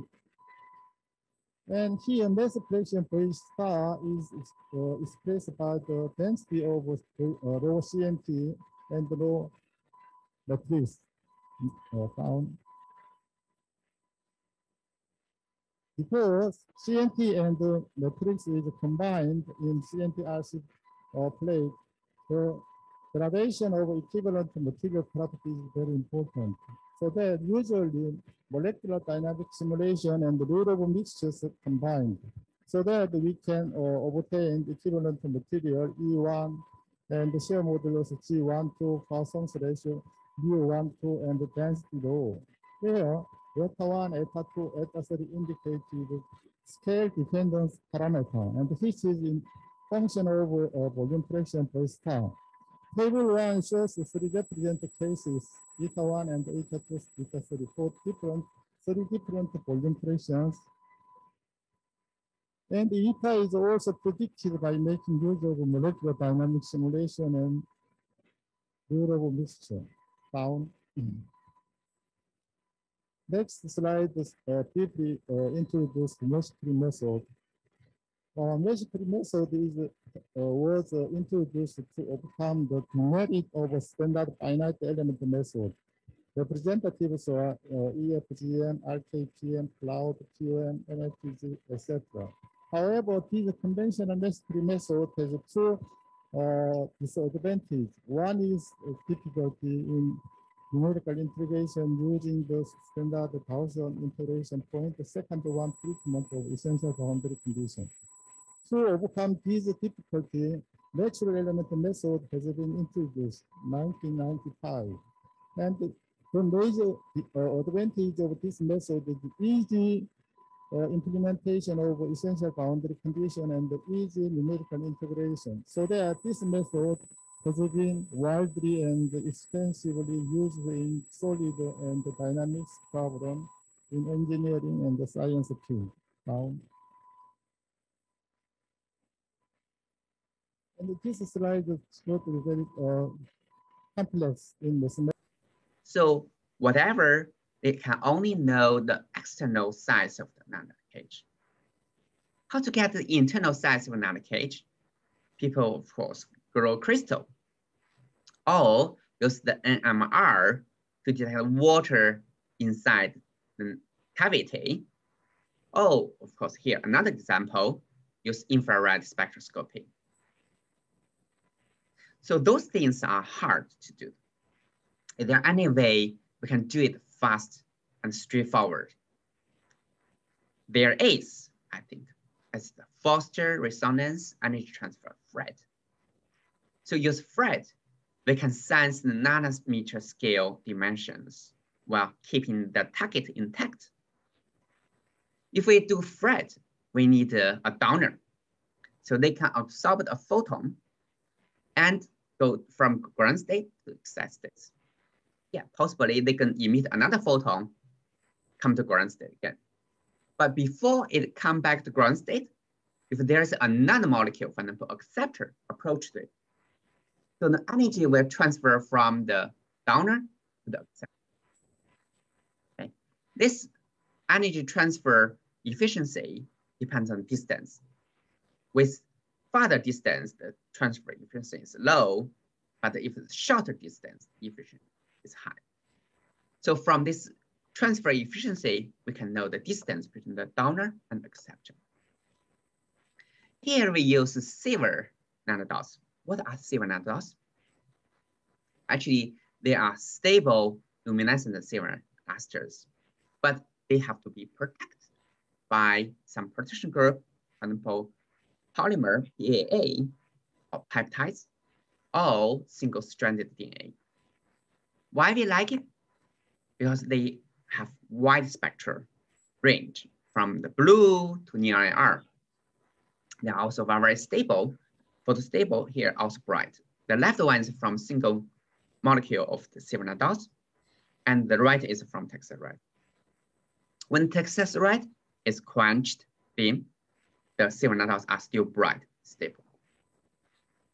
The other property we like because the silver nanodots have very large two photon absorption cross section. So we can use the silver nanodots to detect the nanocage in protein. But before we do that, we can find the model That's the reverse cell. Reverse cell is the water in oil, right? So they are separated by this surfactant. Okay. The water nanocage over here of the reverse cell resemble the polar pockets in enzyme. People use as model. But to understand those water poles, actually people understand the whole uh, particle, right? The reverse cell by DLS. All people want to get something inside this optical sensor to uh, sense the viscosity of this water phase, but it's not directly. Well, when people study this one, people also found something not so consistent. So one thing people think, right, so when you add more water into the uh, reverse micelle, suppose the size of the nanocage will increase. But in this paper, they mentioned that as you increase the water content, the size of for nanocage first increase and then shrink again. But of course, some people say, oh, it will increase continue. Conjugated magnetic nanoparticles, the sensitive and the selective detection can be achieved. After magnetic separation of target bacteria, uh, the bacteria concentration can be determined by using a size sorting method or using some using uh, by a sandwich assay using probes. However, using additional probes for sandwich assay is a time-consuming and expensive process. Therefore, the size sorting method is preferred for the screening purposes. Conventional size sorting method use membrane filters to separate the bacteria magnetic nanoparticle complexes from small free magnetic nanoparticles. Use membrane filters and the magnetic nanoparticles offers an easy and cost-effective way for the detection of the foodborne bacteria. However, it has a critical drawback. The solution dropped on the membrane filters flow down and spread laterally. So it increases the contact area with the solution. Therefore, it degrades the sensitivity. To solve this problem, some researchers use fine nozzle or make surface hydrophobic. However, using a fine nozzle increases the analysis time or hydrophobic coating increases the non-specific binding. Therefore, in this study, we overcame this limitation by using a lateral flow filters. The test was prepared simply by uh, overlapping an absorbent pad on the NC membrane. Then the NC membrane was pressed to generate the control line with considerably small pores compared to the initial membrane. The size of the gold-coated, the free gold-coated magnetic nanoparticle cluster is about 180 nanometer. After combining with E. coli, the size of the gold-coated MNC's bacteria complexes became one micrometer. Antibody conjugated magnetic nanoparticle clusters were incubated in 50 milliliter of the milk, and these complexes were separate were magnetically separated, and then dispersed in 200 micro, microliter of the phosphate buffer. The immersion of the test strip, uh, immersion of the test strip on the solution containing a free gold-coated MNCs and the gold-coated MNCs bacteria complexes induce the color change. The gold-coated, the free gold-coated MNCs move off through the test strip and accumulated at the control line.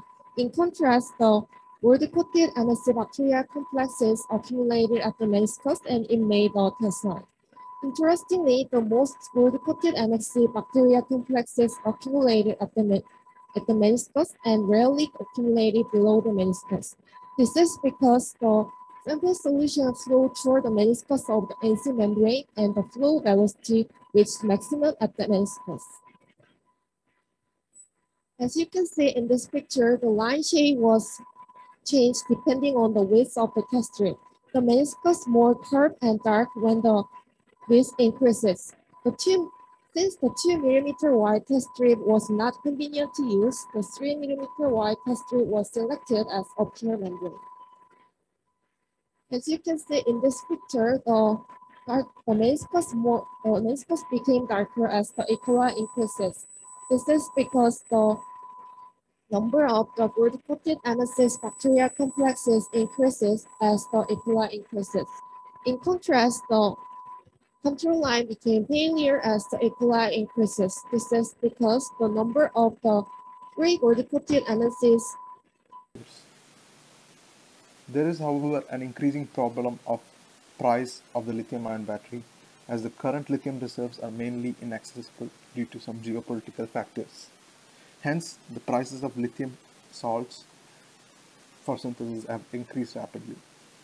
This figure shows the price difference between the lithium carbonate and sodium carbonate, both salts that are used for the synthesis of the cathode material and their price differences. As you can see, there is the price of the sodium is 30 times cheaper than that of the lithium salt. In terms of materials used in sodium ion batteries, the following figure shows both the cathode and the anodes used in the sodium ion batteries. Most of the cathodes are polyanionic compounds as well as oxides, both the lead O3 and lead P2. In this, our material we are going to discuss on is Na2FeP2O7 and we are going to try lithium substitution on it.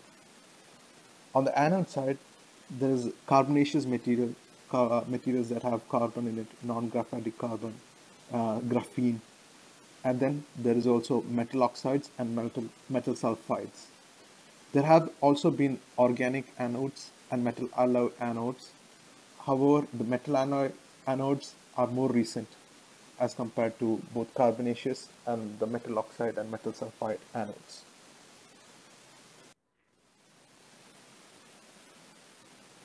Even though the sodium ion battery technology shows promising results, it has its own challenges as well.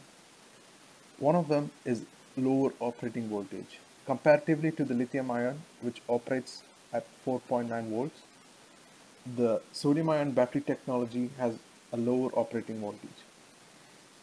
It shows inferior reversible capacity and lower energy density as compared to lithium ion batteries as well. And one of the other main reasons is it requires high temperature for optimal work. This is this causes a lot of safety issues, lifespan issues, and cost issues. What we are aiming for are batteries that have high specific energy, high specific perfor performance, and high specific power. Towards addressing the challenges of the sodium ion battery, various groups have reported different solutions for this problem, a few of which have been listed here. Dimension reduction, which decreases the diffusion distance of the ions. Composite formation, where conductive materials like graphene and carbon nanotubes are used to enhance conductivity.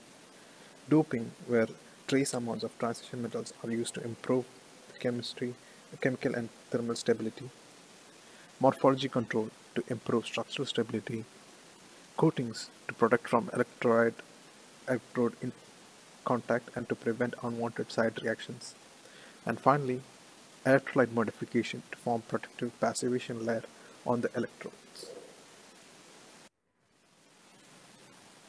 As a solution to address one of the problems of the sodium ion battery challenges, we proposed use of lithium substitution the lithium substitution has been previously promoted by many groups, uh, wherein small trace amounts of lithium is substituted instead of sodium in the alkali metal layer. Here, this figure shows the dual stabilization of effect of lithium addition in O3 type sodium based oxide cathodes. The reported work shows that there is a bulk stabilization where the crystal structure of the material is stabilized. Property in comparison with silicon. SiC has many crystal form called polytypes. This picture uh, shows an optical image of uh, 6H15R SiC region uh, separated by different colors. The color of 6H, 4H, 15R is green, brown, yellowish brown, uh, respectively. H means the hexagonal form, R means the uh, rhombohedral form. SiC is uh, also com uh, covalent network compound. Uh, silicon is bonded to four carbons, and the carbon is uh, bonded to four silicons.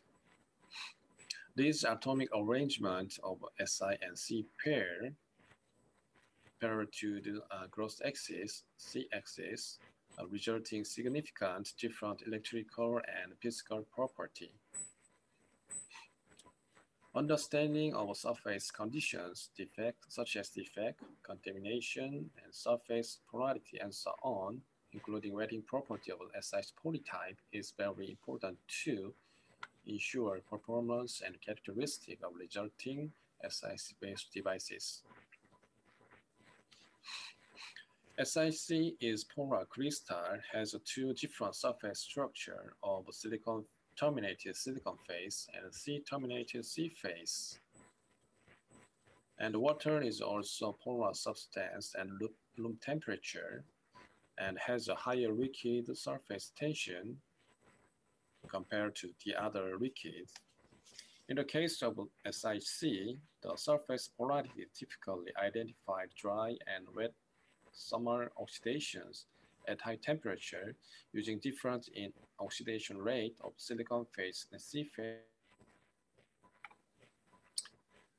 Okay, this video shows a very simple concept of the interaction between polar substrate and polar materials.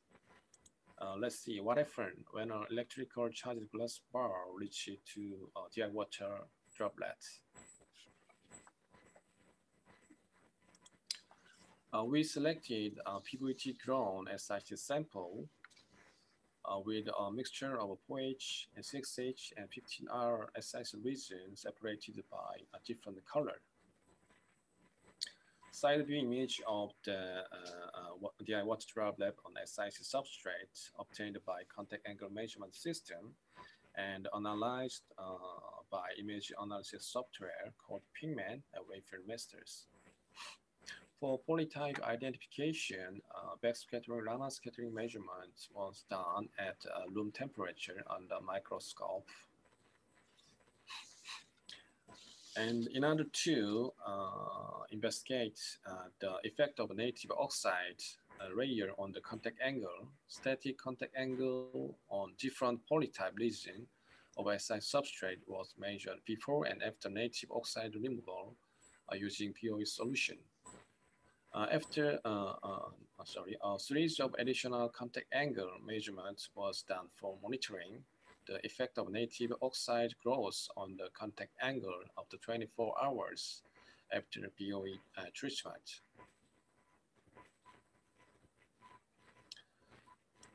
Okay, this picture shows a side view of a, a water droplet on a SI substrate. This is Fingman we first uh, setting a reference uh, scale and uh, drawing.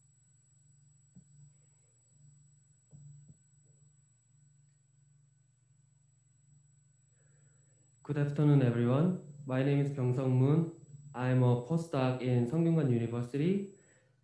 Today, what I'm going to talk about is green upconversion enhancement achieved by laser-induced transformation from beta sodium fluoride to yttria.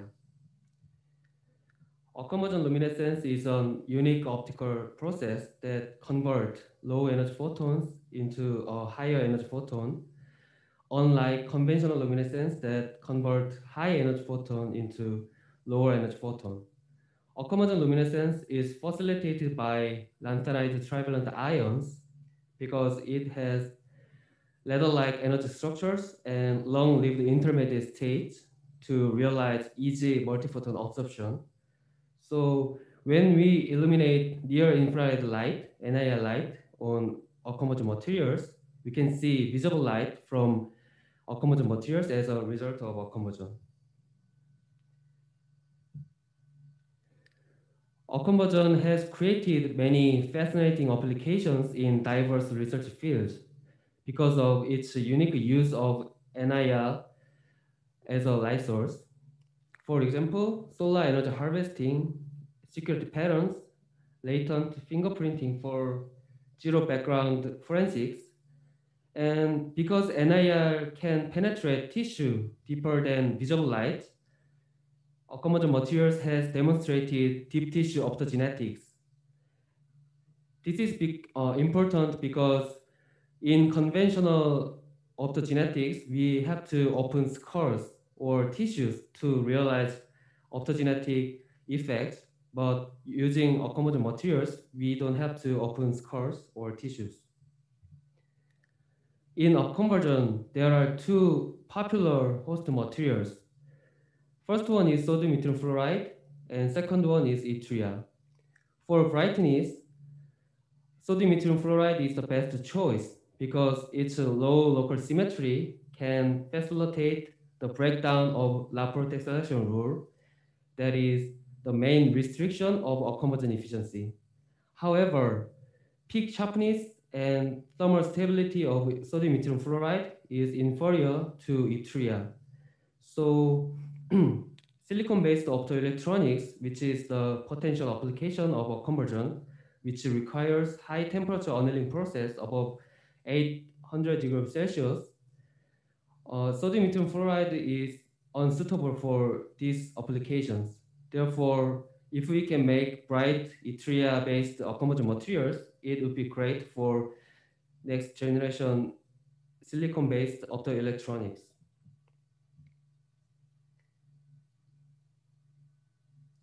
Before, before we see short video of experiment, I will explain the detail of experimental method. We prepared sodium yttrium fluoride microplate, which is singly doped with erbium 0.5% to realize green accommodation emission. The microplate was placed on nickel substrate and irradiated by highly focused laser beam. So, uh, sorry.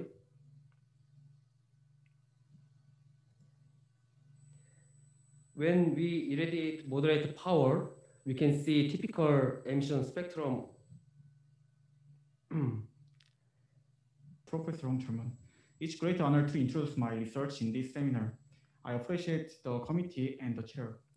Uh, today, my topic is non-volatile, ultra-stretchable, and ionic sensory platforms for next generation wearable electronics. I'd like to start by looking at this exponential growth of wearable electronics, referred to as e-skin. E-skins are the flexible, stretchable, and self-healing electronic materials that can mimic the functionalities of human or animal skin.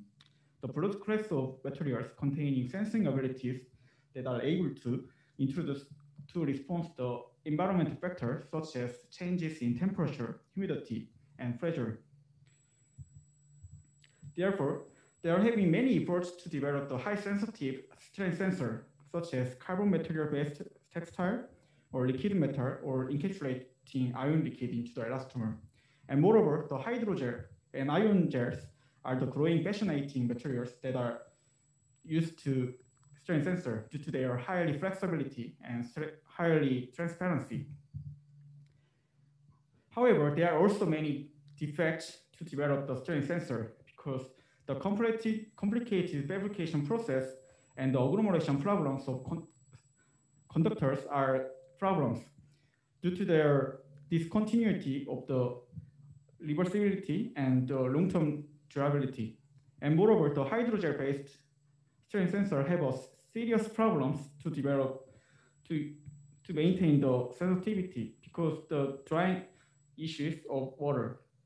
Therefore, they need an additional process such as encapsulation process, or they need to add some humectants to prevent the water drying. And moreover, the conductor, the conductor-based uh, elastomer strain sensor are limit, have a limit range to endure the applied strain. Therefore, in this study, we focused on the ion gel system.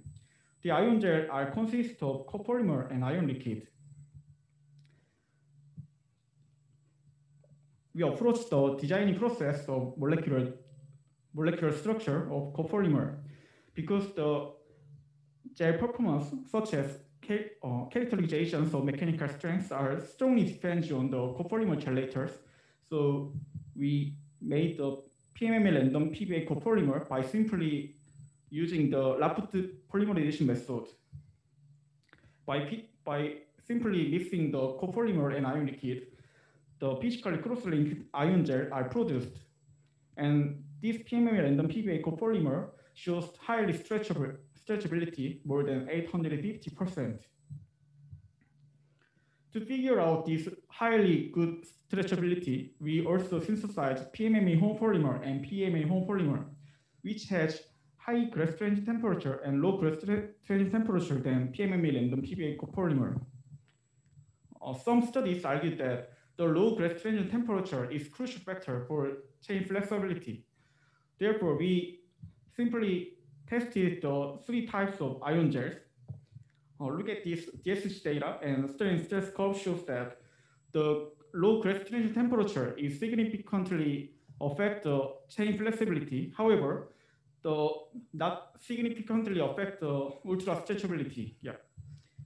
Therefore, we uh, therefore we look at these microscopic images.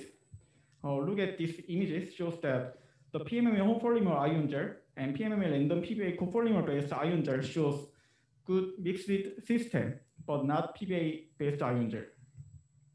And moreover, the small angle X-ray scattering data shows that uh, we, uh, we uh, extract the agglomeration size of this data by using the simple linear polar resume.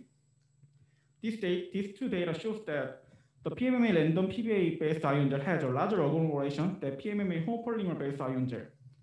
Putting it all together, the PBA domain is not dissolved in ionic liquids. Therefore, we conclude that the low glass transition temperature and ionic insoluble domain are crucial factors for chain flexibility. To verify our assumption, we also synthesized PMMA random PS copolymer which has ion liquid insoluble domain as PS styrene domain, and if this is higher glass transition temperature than PBA domain. Therefore, in these two data also shows that the PMMA random PS copolymer based ion gel could be stretched more than 500. About to talk about our recent work. This is a new version of the non-migratory uh, active packaging uh, in the, in the contribution we will talk about the migratory and non-migratory.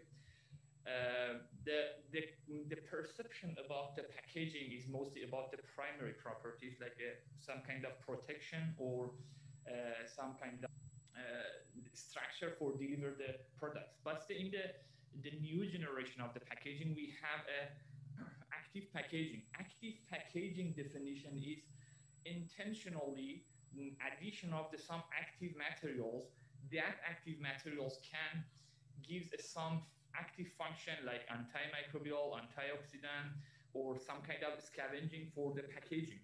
The conventional packaging materials in the market, they are just, uh, it's, a it's a type of the mechanical or barrier uh, materials, but uh, those packaging in packaging system in the market, they cannot protect about the shelf life. But the active packaging, can enhance and extend the shelf life of the products. So, uh, but uh, the, the, the, recent work in the active packaging is mostly about a migratory packaging.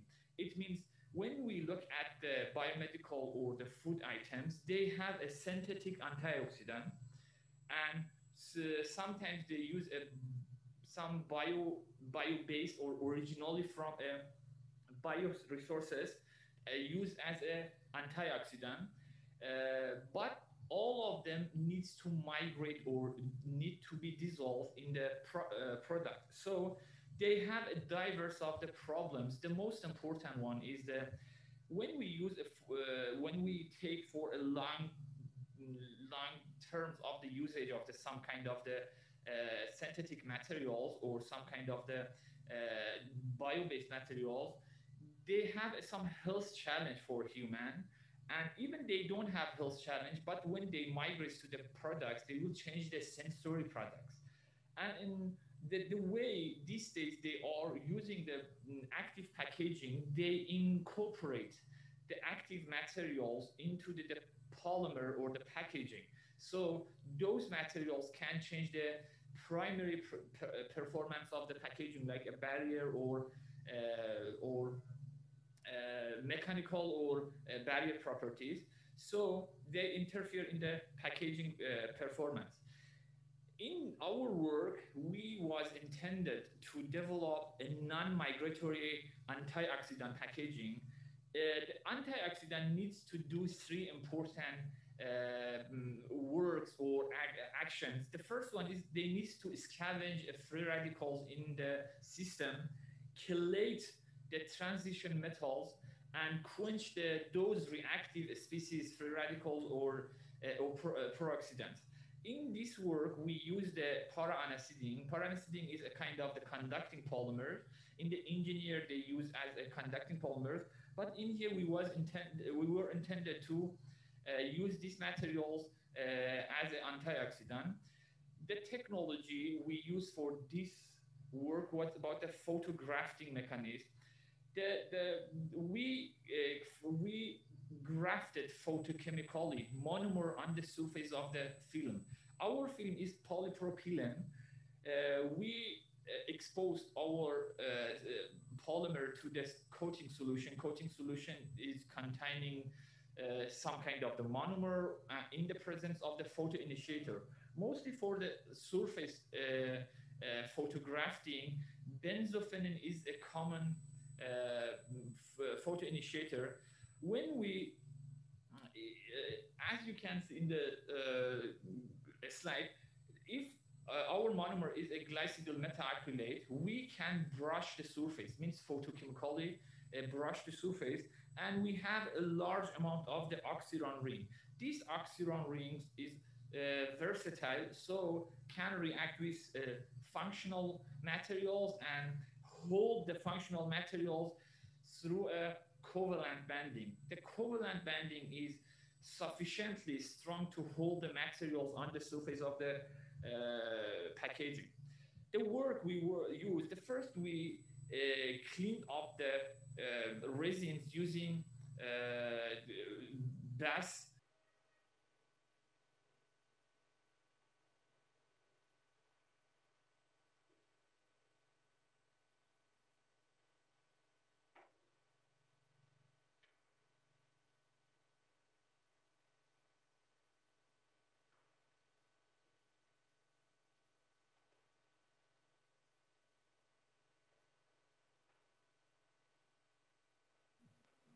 Annyeonghaseyo. Firstly, I'd like to thank Committee of Advances in Functional Materials 2021 for accepting our work. I am Labad Madani. I am a PhD student in Biskra University from Algeria. I am working on wide and ultra-wide bandgap semiconductors devices. In this presentation, I will present part of our research, which is titled on control of Schottky barrier height of nickel beta gallium oxide Schottky barrier diode by insertion of a graphene monolayer. This work prepared by me, Labad Madani, Professor Nordin Sangoga and Professor Afak Mufjah from Biskra University and Professor Isran Karim from Sejong University. Initial studies on gallium oxide were performed in 60s of the 20th century, but then it was almost forgotten for about three decades.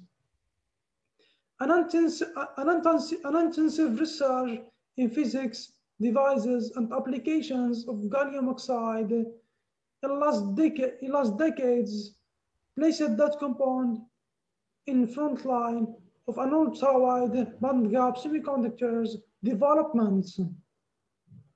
The excellent intrinsic properties of this material include an ultra-wide bandgap of about 4.8 electron volt, high electrical breakdown field, and high high electron saturation velocity combined with availability of large scale production from melts. In addition to its low cost compared with silicon carbide and gallium nitride, gallium oxide has six polymorphs, but beta polymorph is the most stable. However, gallium oxide has serious drawback of developing p-type semiconductor. Therefore, it is used mostly in unipolar devices such as MOSFETs and Schottky barrier diode. In last years, the number of gallium oxide Schottky barrier diode related academic publications has, has substantially increased and, and uh, researchers aimed from these publications to developing a high performance Schottky barrier diode with, for example, low series resistance, low threshold voltage to minimize heating during operation, low leakage current, and high thermal stability, and finally, controllable Schottky barrier height. According to Schottky-Mott rule, a linear dependence between Schottky barrier height and metal work function. However, measured Schottky barrier height is not related to the metal work function as predicted as predicted by Schottky-Mott rule. Farzana and coworkers, Yao and coworkers studied effect of metal work function on Schottky barrier height variations of an insulator between metal and gallium oxide.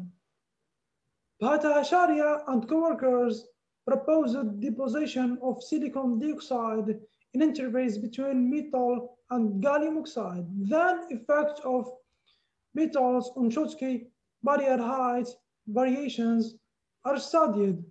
For example, Schottky barrier height for nickel is higher, than, uh, is higher than that for platinum, although the platinum work function is higher.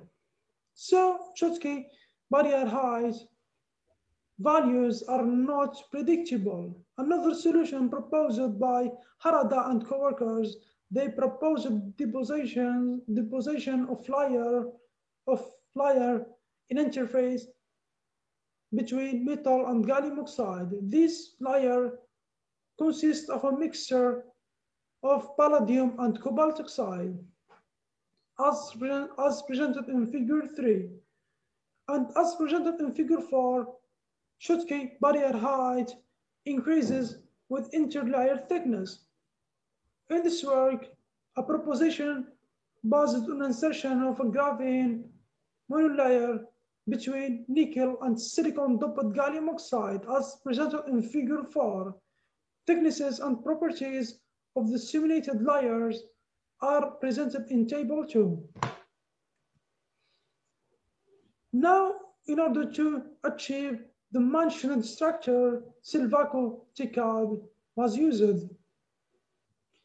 In this simulation, thermionic emission turning through graphene monolayer and, and Shockley Read Hall were, and other models were considered, in addition to traps related to considered layers. One graphene monolayer was, was considered was considered uh, the Schottky barrier diode outputs affected. For example, Schottky barrier height decreased from 139 to 0.43 electron volt threshold voltage decreased from 1210 to 100 millivolt and also a decrease in series resistance from, from 5 to 14 milliohm centimeter square. However, an increase in leakage current as presented in figure 6. These variations are related to increase in turning rate as presented in figure 7. We demonstrated that insertion of graphene monolayer enhances Schottky barrier diode outputs by increasing turning rate. Turning rate. We have now to take into account possibility of tuning graphene bandgap and work function. These characteristics of graphene used for controlling Schottky barrier height as we will discuss. Firstly, graphene bandgap was studied. One graphene bandgap incre in, in, increased Schottky barrier height, series resistance, and threshold voltage increased as presented in figure 8. And as presented in figure 9, one graphene band gap increased an increase in uh, an increase in leakage current. These variations in the Schottky barrier diode, outputs parameters are related to decrease in Choronin rate when graphene band gap increased as presented in the inset of figure 9. Another important parameter is, is the graphene work function. So when graphene work function increased, Schottky barrier height increased from 0 35 to 0 62 electron volt. Threshold voltage increased from 20 to, to 270 millivolt.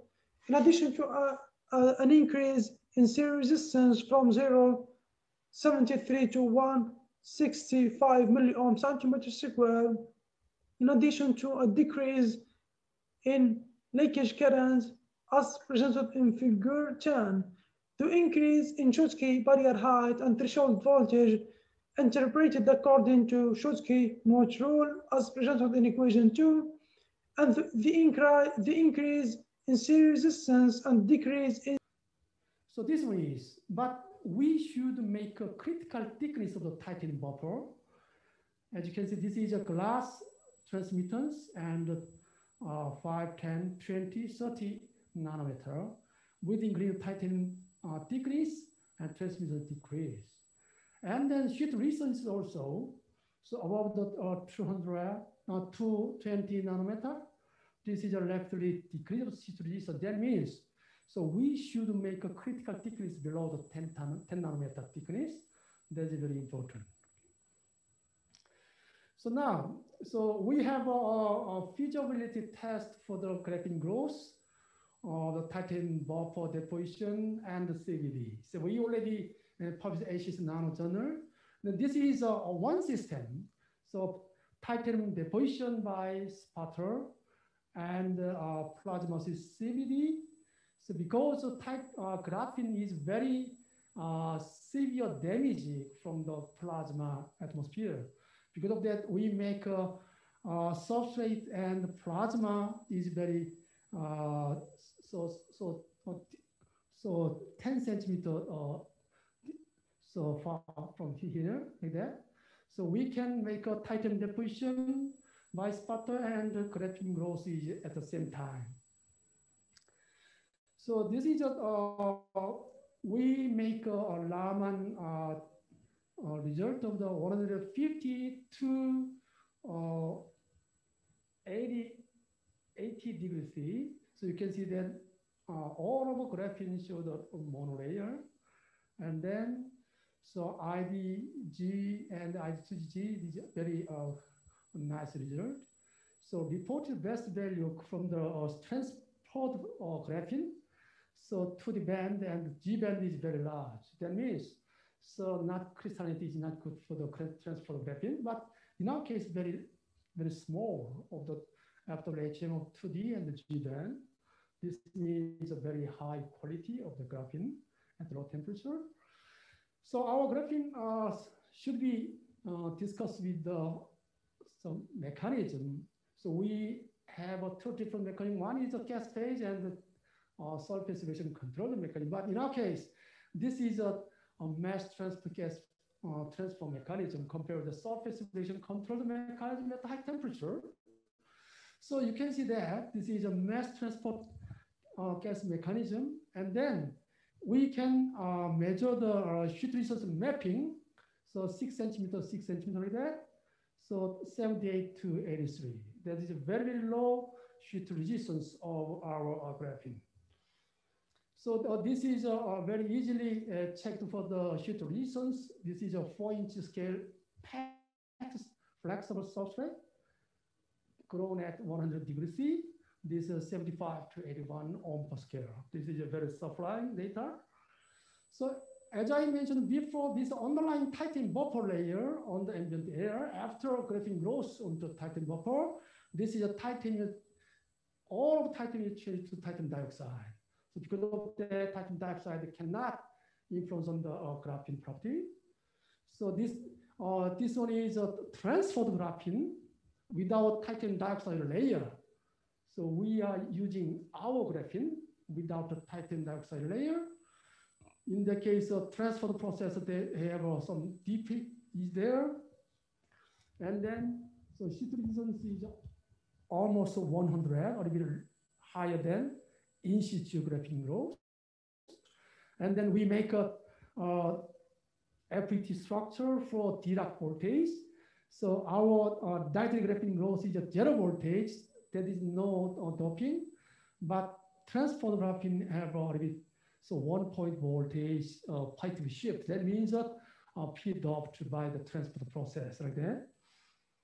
Okay, so this is a supplying data. This is a, uh, our graphene uh, domain size grown at 100 degrees C. This is a very high, very large. So this is every domain size of graphene is a 380 micrometer. So you cannot see any any graphene for the transformer. So this is very surprising data. So from there on, we uh, make a FET structure. So we calculated uh, some mobility using the uh, gate. Different morphologies requires the design of different types of collectors, which is not efficient. The use of liquid collectors in electric spinning can also produce fibers more effectively with diverse morphologies, such as fiber ERs and circumferentially aligned fibers. However, the liquid collectors have not attracted much attention in previous studies. Furthermore, in previous contributions, a stick-thick liquid collector was used, which is the most basic form. It limits the manufacture of fibers with diverse morphologies. The in-depth research on the electrospinning liquid collector is necessary for the production of fibers with various forms.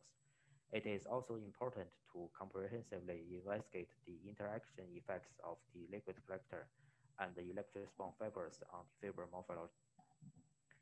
This figure shows the schematic of the electrospinning setup used in my study. It can be found that uh, different, different from the typical wet electrospinning using only using the static liquid collector, a metallic stir was employed to provide the rotation motion, rotational motion of the uh, water inside of the collector. Two interactions was uh, investigated in my study. Uh, as summarized in the right side, the hydrodynamic in interaction, which is the effect of flow velocity of the liquid collector and the electrical interaction, which is the effect of the conductivity of the liquid collector, and their effect on the fiber morphology, including the fiber size and density, the fiber diameter and alignment was uh, investigated. The first uh, column in the first figure, the aluminum foil, uh, represents the uh, uh, typical case as a reference, and zero from zero RPM to 900 RPM is the using of the liquid collector with different rotation speed. It can be found that compared with the typical solid collector, a larger fiber mat size could be obtained when the liquid collector was employed. In addition, it was found that as the rotation speed of the liquid collector increased, the size of the fiber mat also increased until the 900 RPM case. It can be found that compared with the 600 RPM case, the 900 RPM case, the fiber mat size uh, was not increased. Instead, it was reduced. Uh, as shown in the insert in the uh, last uh, column 900 RPM case, it can be found that uh, many fibers were fused at the center region of the fiber mat. This may resulting in the uh, reduced fiber mat size compared to the previous case.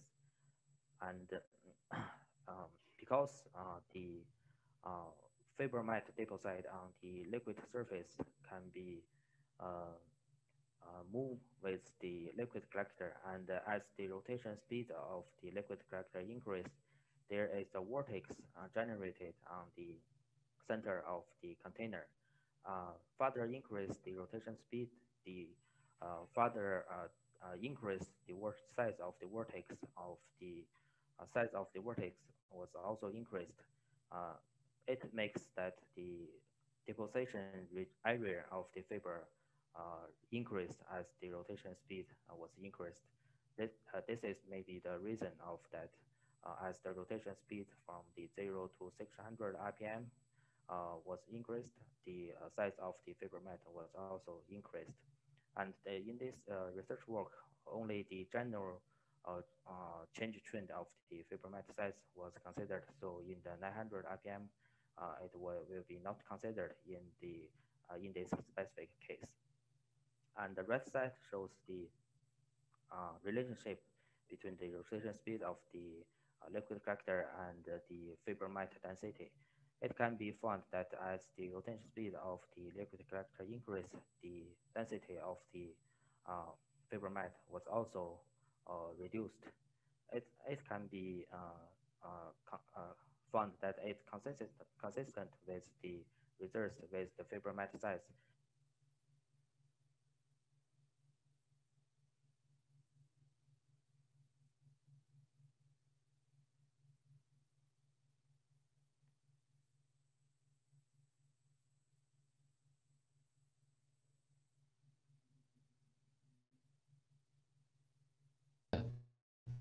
FTI ah, because there are no chemical uh, modification. Uh, uh, and the base as uh, 3288 and 1662 are due to the hydrogen groups in the Latin rule. For plasticide AMC and plasticide SMFC, cases the speed in range of the 2010 to 3650 and 1662 are ah, greatly enhanced due to the hydrogen groups in glycerol uh, molecules. And also the double bit as the 2879 and 2929 and the absorption based around 1110 and 1028 are characterized for glycerol molecule. So we can uh, see that glycerol is composed with MFC. Then compare between the SMFC and SMFC. The absorption base of SMFC are weaker than those of AMFC because a lower glycerol content in the plasticide uh, SMFC. To investigate the mechanical property, we conduct the uh, tensile test using the dot bond shape. Uh, the test testing were uh, conducted at the two uh, states, dry states and wet states. In the wet state, we can obtain the west chain of the MSC film. And here is result of the dry uh, tensile test. Forms uh, this figure uh, chain curves. We can see S least AMSC achieves the higher tensile strength compared to the least AFFC because the hot pressing achievement makes the denser structure and uh, making additional hydrogen bonds. Hence, uh, generally, adding glycerol, we can see adding glycerol will reduce the chance, mechanical chain and uh, genres while increase the chance at rest. In this figure shows the uh, effects of tensile chain elongation and jump modulus uh, according to the glycerol concentration. Uh, interestingly, the case of MSC 2.5% G shows special behavior It's increasing the elongation while uh, maintaining the strength. It can explain by the two effects of glycerol when combined glycerol and hot pressing treatment in SMFC.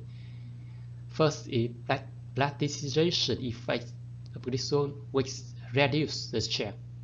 And the second is the forming of additional hydrogen bonds between glycerol and the nitrogenol also between glycerol to glycerol molecule during pressing treatment which will be increasing the strength. So uh, in the case of SMSC 2.5% Z, the positive effect exceeds the negative one. That's why it shows very special behavior. Water resistance is very important for uh, MSC films. To characterize the water resistance of MSC film, we use the measure the water absorption, genetic thickness, and West Chang. And West Chang is obtained from the West tensile test. For water absorption and genetic thickness, we immerse the sample in water at 25 Celsius degree for 24 hours. Thus, the excess water will removed.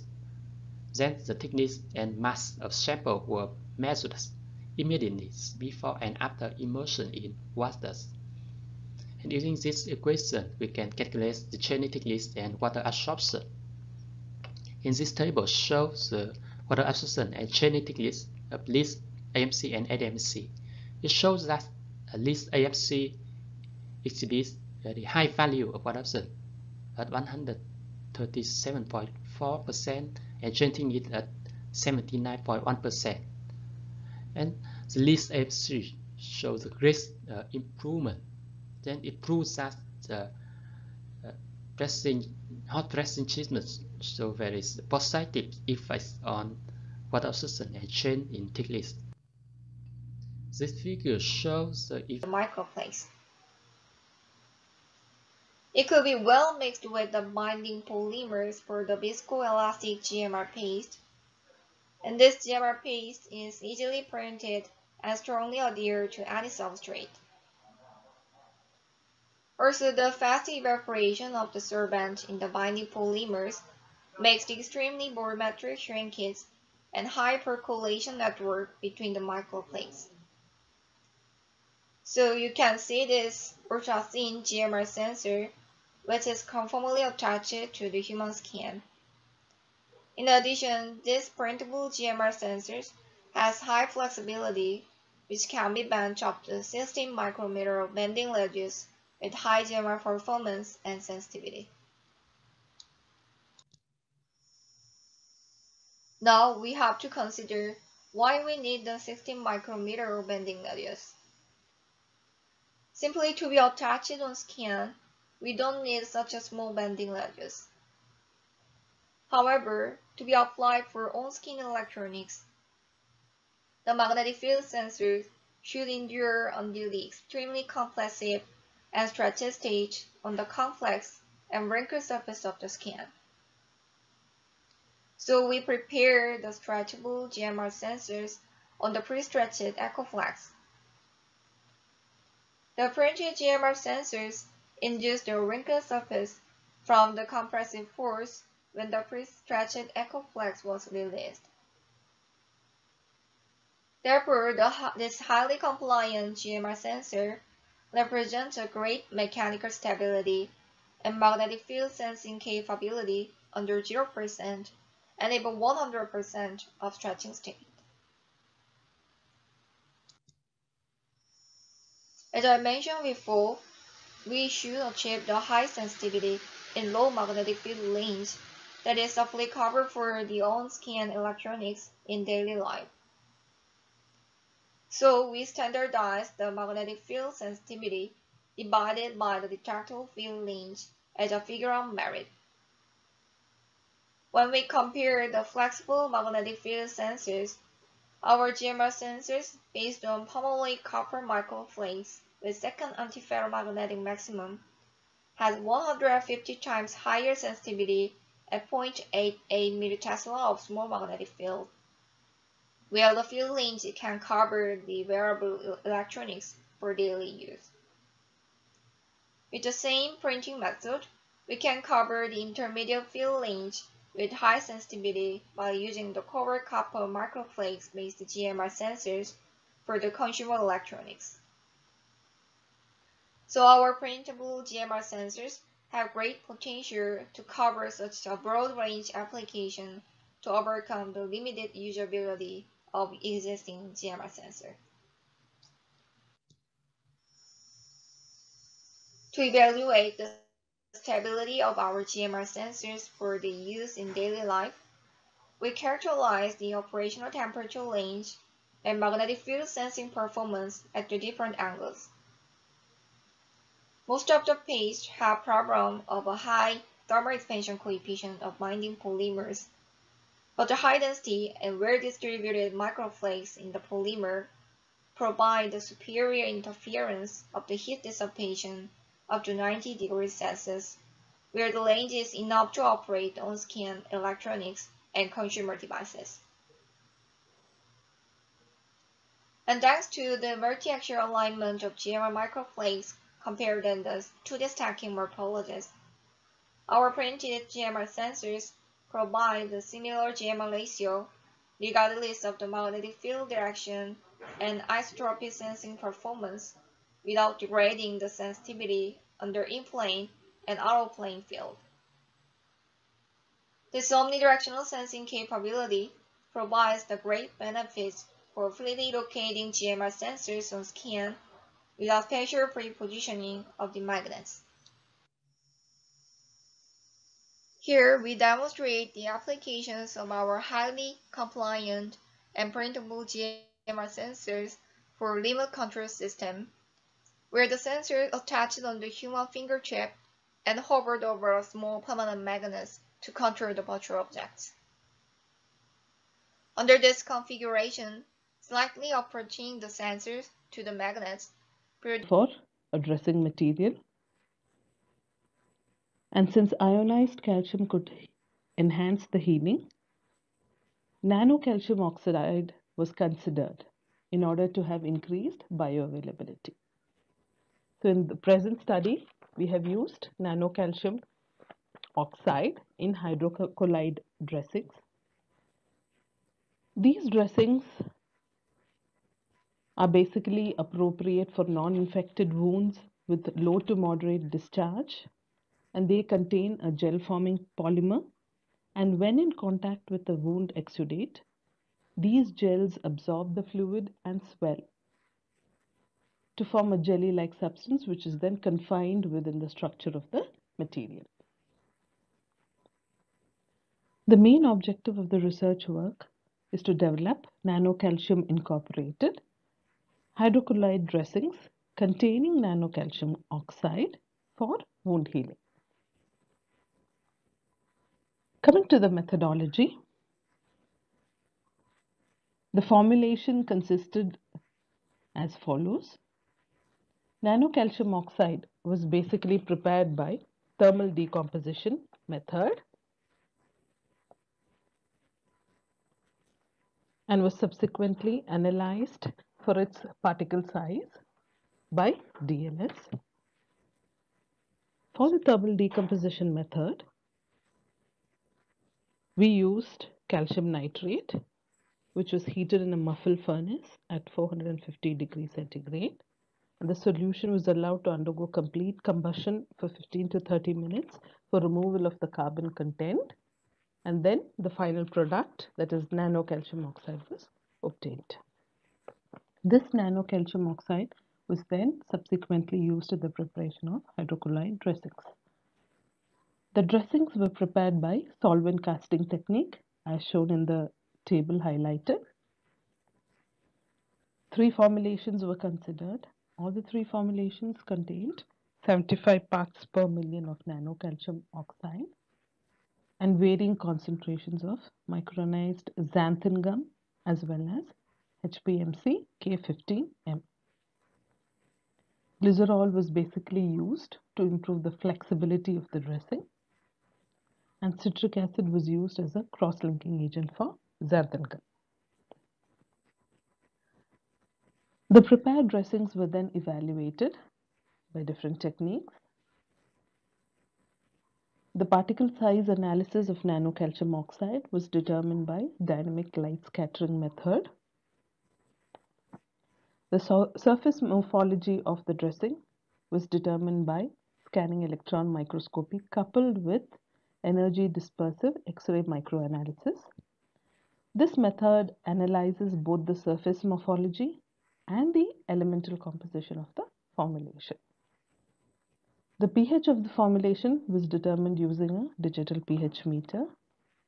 The thickness of the dressing was measured at different sites using a screw gauge.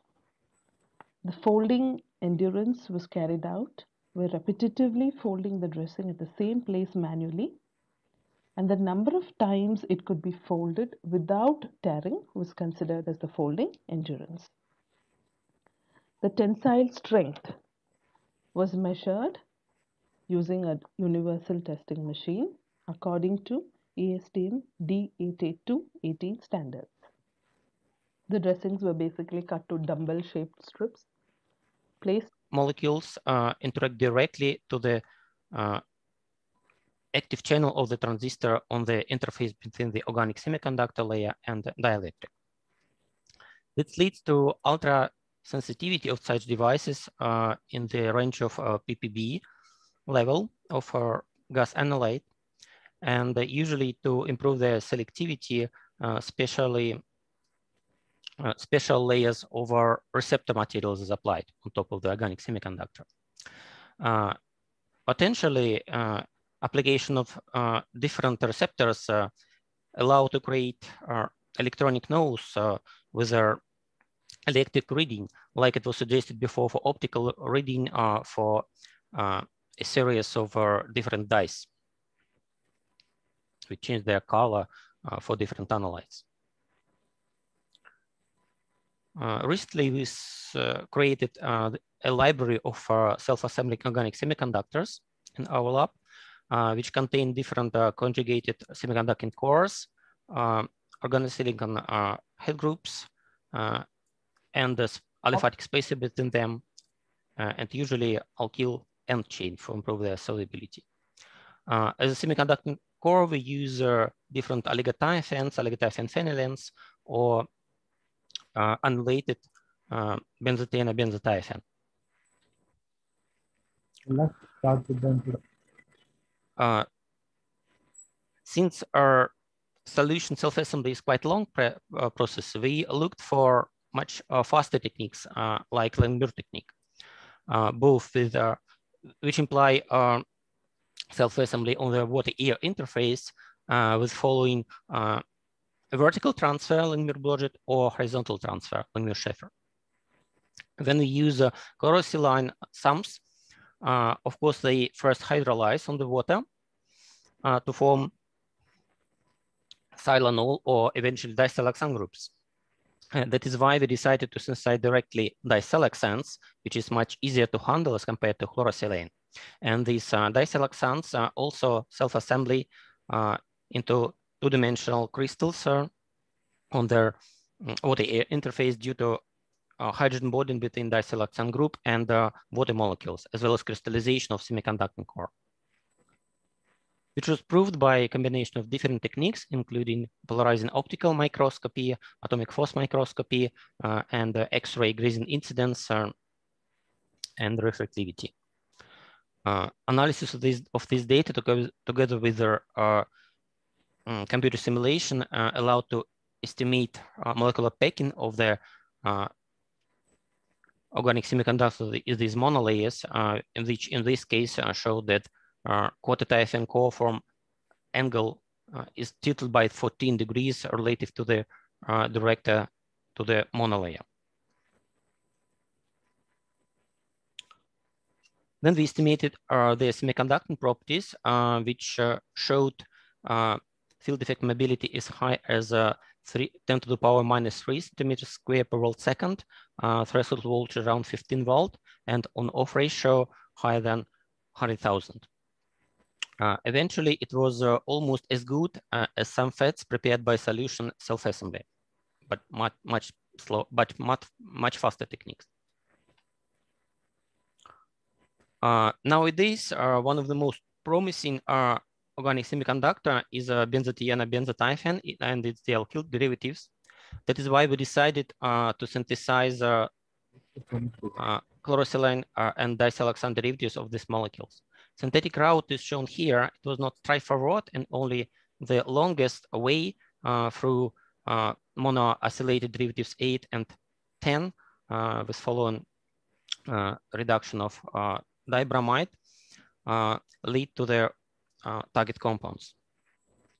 And uh, the similar way was used to obtain dimers with shorter spacers, C6 and C7. By this, all these dimers are were investigated uh, uh, by technique, uh, and it was found that they also form two-dimensional monolayer, crystalline monolayer due to hydrogen bond between disiloxane uh, group and crystallization of BTBT core. Uh, again, it was uh, approved. Materials made of carbon nanotubes. In general, Bucky paper is made by CVD method, but in this work, made by solution filtration method, and it allows simple creation. Bucky paper has same strength as CNT, so Bucky paper is also useful in the field of electrochemistry. In addition, Bucky paper is a sheet, so it is easier to process than CNT. And since Bucky paper is made of CNT, which is very fine material, it has a large surface area. The aim of my experiment is this. Evaluating electrodes made of CNT using metal batteries. Demonstrate the usefulness of ozone treatment. Layer batteries which was used in this experiment is this. Layer batteries react with oxygen in the air to react electrons. Therefore, the surface area of the cathode greatly affects the performance. Next, I explain how metal air batteries works. As shown in the figure, aluminium changes into ions at the anode and oxygen is taken in the cathode. Overall, oxygen flows and electrons flow in process to Al changing to AlOH3. Next, I will explain how to create Bucky paper. Bucky paper was prepared using suction filtration method. It was made by dispersing CNTs in an aqueous solution and passing it through a filtration filter. Bucky paper peeled from the filter paper has cellulose on it. So Remove cellulose using ionic liquid. After that, wash with 100 degrees water to remove the ionic liquid, adhering to Bucky paper. Bucky paper is very thin and has little capacity to hold electrons, so increase the volume by overlapping and increasing the capacity. The created Bucky paper was overlapped with CNT as a binder and baked and flattened under pressure. Finally, the remaining surfactant was removed by baking at 300 degrees. Ozone treatment was applied to clean the surface of Bucky paper. Ozone excites electrons in the air and eradicates the surface of the electrode to float and remove impurities. A gel-type aluminum air battery was produced. The structure is shown this. The size of the electrode is the same as that of the aluminum plate. The Bucky paper is described as Bucky paper -n, in which n sheets are stacked. The anode was fixed to an aluminum plate, and the power density of the aluminum battery was examined. This is a comparison of the power density. The numbers in the graph correspond to the numbers in the cathode of table. The thing which carried out Bucky paper with three layers and applied ozone treatment was the highest, and no ozone treatment became high next. From this, it was confirmed that the output was increased by ozone treatment. In comparison between two Bucky papers and three Bucky papers, it was found that the output increases as the film thickness increases. In addition, it was found that the power density per volume of Bucky paper was higher than that of carbon sheet, since Bucky paper having half or less film thickness. The internal resistance was lowest for ozone-treated Bucky paper, followed by the program is now is focused on the tritium and the deuterium furans uh, tritium is one of the few is one of the fusion reactors few. Uh, thus, the tritium, but the tritium have very few reserves in the nature and must be breeding tritium itself in fusion reactors to realize the fusion self-sustaining. Uh, in fusion reactor, the helium-cooled ceramic braid blanket the helium-cooled ceramic breeding blanket HCCB uh, is selected to achieve the tritium breeding. Uh, the tritium breedings occurs in the tritium breeder materials inside the blanket of the fuel reactors, uh, such as these pebbles. Uh, for example, the lithium orthosilicate pebbles is one of the most potential tritium breeding materials. Uh, in the following section, we will focus on the uh, study about the lithium orthosilicate pebbles. Uh, in, in next section, we will introduce the fabrication and the characterization of ceramic tritium braided pebbles. Mm. In China, HCCB blanket, the lithium orthosilicate pebbles with about diameter about uh, 1 millimeter are selected as the tritium breeders. Uh, at SWIP, the melt spraying method was select, is selected to prepare lithium orthosilicate pebbles for tritium breeding blankets of fusion reactors. Uh, this this is this is the fabrication process of the lithium orthosilicate pebbles by melt spraying method. This is a cross-section of the MSM facilities. Uh, there are several advantages of the melt spraying method, such as the high density of lithium orthosilicate pebbles, the good sphericity, uh, it is easy recycling of lithium orthosilicate powders, and the large scale preparations. This, this, this, picture is our old fabrication facility for pre-research on lithium orthosilicate pebbles based on the melt spraying method. Uh, in order to increase the fabrication scale, a new facility based on the melt spraying method have been constructed. The new facility will have the ability to produce 10 kilogram lithium orthosilicate pebbles at a single match, single batch. Uh, these pebbles was fabricated by the melt spray method.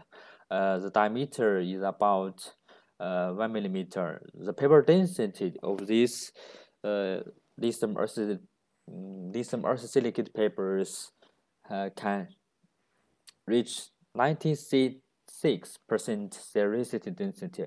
It is very high.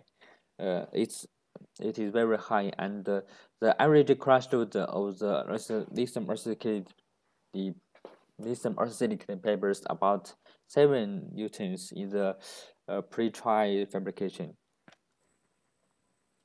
Uh, in the following section, we will focused on the fragmentation behavior and the mechanical properties of the tritium breed pebbles and the contact force distribution in pebble bed. Uh, the crush load of pebbles is selected is selected to characterize the mechanical properties of the ceramic pebbles, uh, which were tested with an electro universal machine test machines.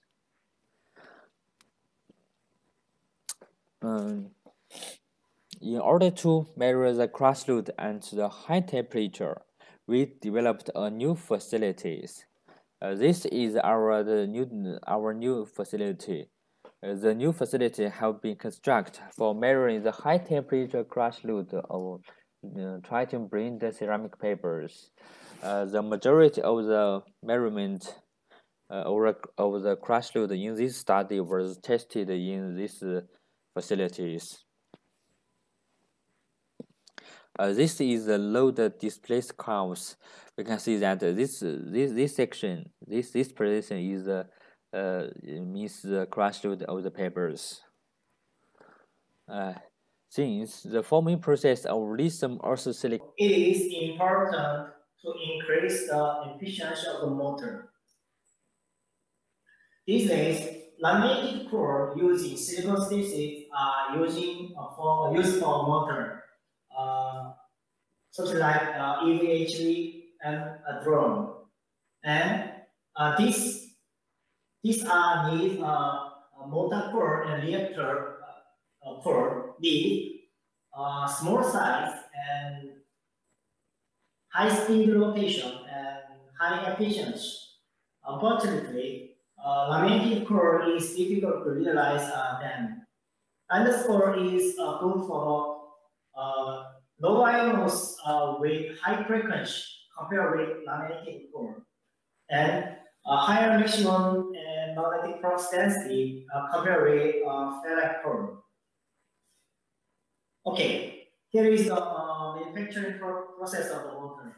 Laminated core is uh, first punching and then interlocking, laminated, laminated, laminated and then uh, winding a coil like this, and then insert.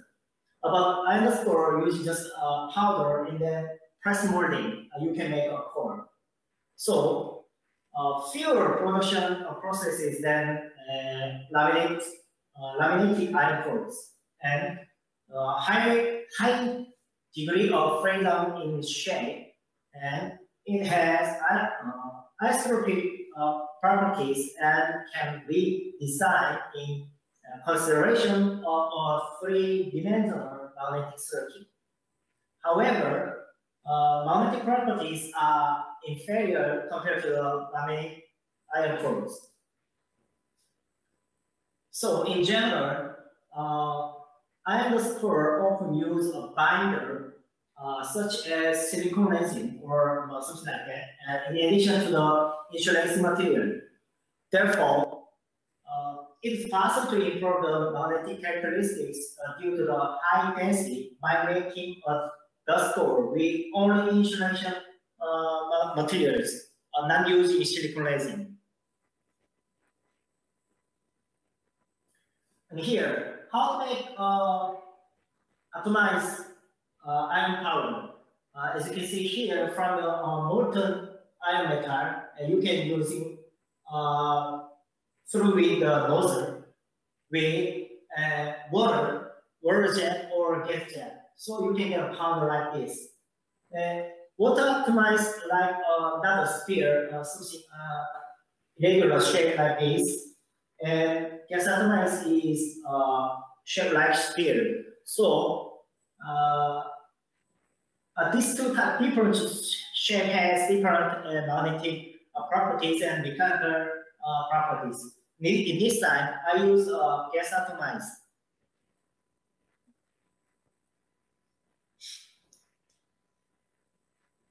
This is the uh, how to make the uh, dust core. From three-dimensional method uh, using uh, iron powder with uh, ceramic carbon agent and silicon resin, and then press molding at uh, low temperature. So uh, we get a uh, dust core And then uh, on it, uh, with 550 degree Celsius uh, training with reduction atmosphere. So I call it the score A. The suggested method is from the iron powder, just adding a silicon-based insulating film, film coating, and then uh, pressing press uh, at room temperature, and then I get a uh, the. I call it a B as crestone. And then only from uh, 600 Celsius with uh, 20 minutes. So I call it uh, B0. Another things are three different uh, only temperature and only time. So for B1, B2, B3. This is the uh, dust core. Uh, the inner diameter is 8 millimeter and outer diameter is 16 millimeter. And the thickness is uh, about uh, 6 millimeter. The winding core is, H core is uh, 50 tons and B core is also uh, 50 tons. And in here, uh, get In order to, to determine the structural phases, XRD analysis of the sample was done on which ceramic top coat, as presented in figure. Metastable tetragonal zirconia and cubic zirconia phases have been determined as the primary phase. Monoclinic zirconia phases has also observed with low in intensity. In, test, in the test samples, the hardness measurements were, was made with the Rockwell superficial hardness method. In hardness measurements, three samples were selected from each test sample group and three measurements were taken on these samples. Therefore, a total of nine measurements were made for an experimental group. The surface roughness of the test sample groups was measured. The samples were washed and dried in an ultrasonic ethanol bed for 10 minutes before roughness scanning. The average roughness value was determined by measuring Ra roughness value from three samples for each test sample group. Mercury porosimeter was used for the porosity measurements of the coatings. Measurements are taken in diameters from 1 millimeter to nanometer level in mercury porosimeter. As a result, total porosity ratio and the total pore area varying depending on the porosity diameter were obtained. All data regarding average hardness value average surface, surface roughness measurements values with standard error and porosity values of coatings are combined in the table. High temperature test solid particle erosion testing. Experiments in accordance with ASTM G211 standards were carried out at room and high temperatures using the high temperature solid particle erosion test ring which its schematic view is shown in the figure. Here is the furnace that heats the air and here is the test experiments conditions. This is the high temperature solid particle erosion testing photo photographic view.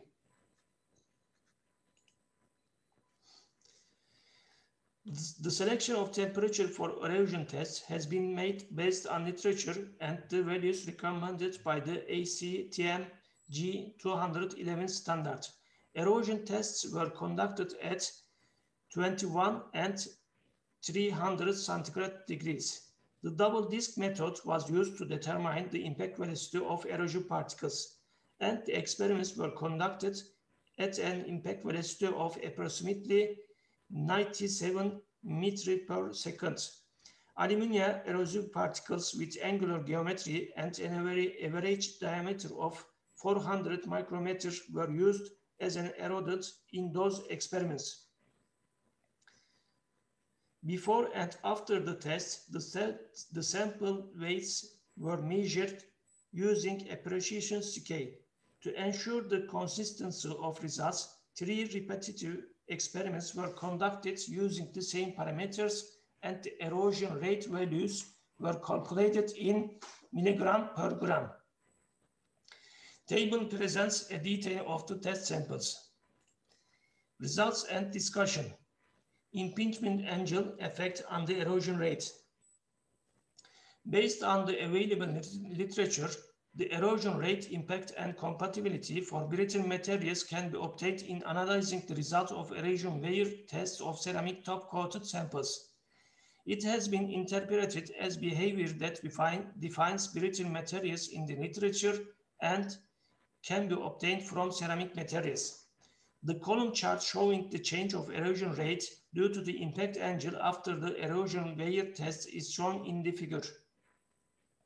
When analyzed at the point of angle variability, the highest erosion rate in the graph was determined to occur at a 90 degrees impact angle.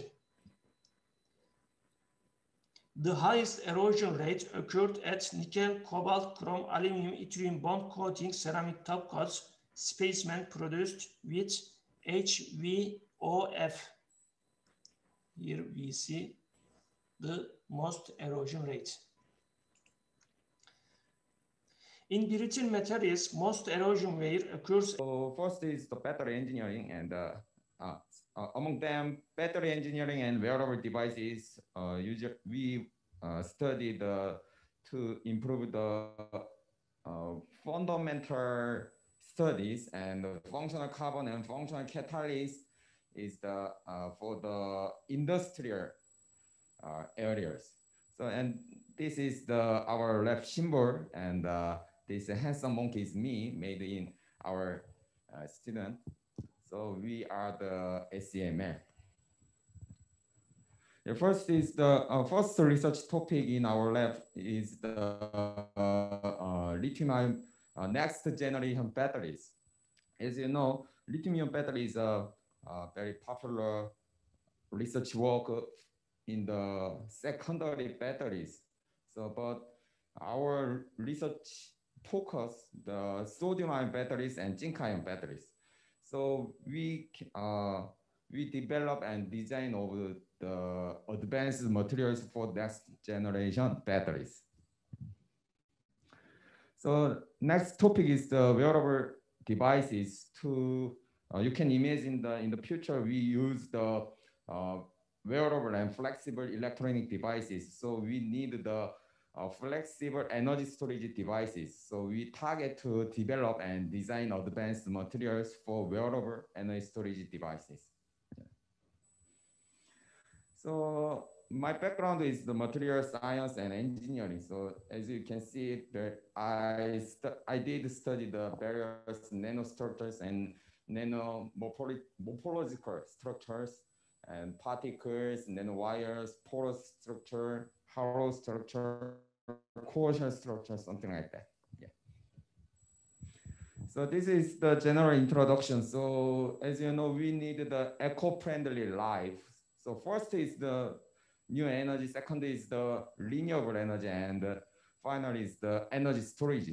So new energy is the hydro fuel cell, uh, bio, and uh, renewable energy are solar, wind, water, and geothermal energy the my work is the energy storage. So usually we study the secondary batteries. So energy storage is the key part for eco-friendly our life.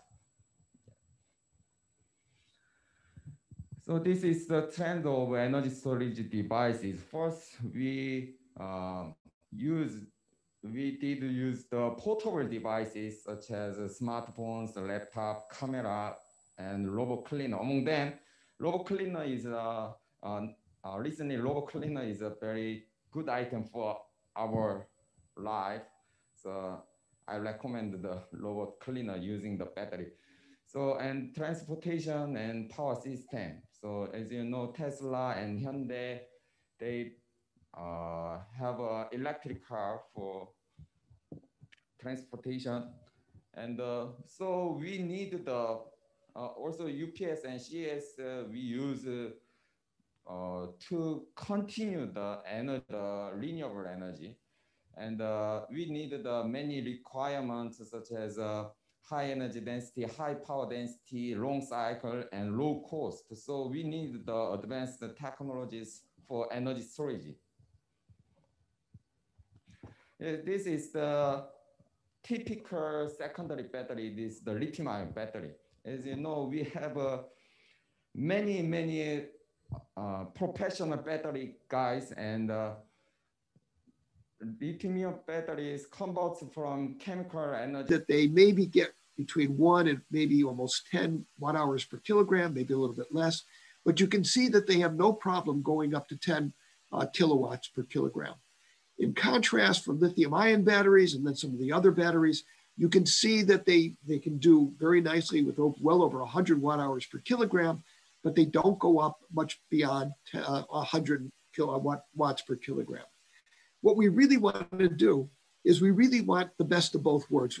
We want to blur the distinction between what's a battery and what's a capacitor. And we want to do that by going here. This would be the targeted area so that the material would have the energy density of a lithium ion battery material, but it would have the power density of a capacitor material. So how are we going to get there? Well, the best thing about research is that, you know, you have to start trying and see what's the best way. And I think it's fair to say that nobody really knows. There's a, there's a lot of work that's geared towards taking lithium ion battery materials and increasing their power density, often by making them nanoscale, but that doesn't always work. And then there's a lot of work on taking supercapacitor materials and other carbon-based materials and functionalizing them so that you can increase the energy density. And that works a little bit, but nothing is really in this range. And so really it's a question of how do we do this? What's the best way to, to get about, to get there? So suppose we did. Is anybody really interested? Well, I think the answer is yes. We know that electric vehicles are going to be more and more popular, and we know that no one wants to wait for an hour to have their car charged. And so the idea of being able to have an electric vehicle that can charge in five minutes or maybe 10 minutes is very, very attractive. So as the market for electric vehicles increases, there will be increasing need. People will want to charge it faster.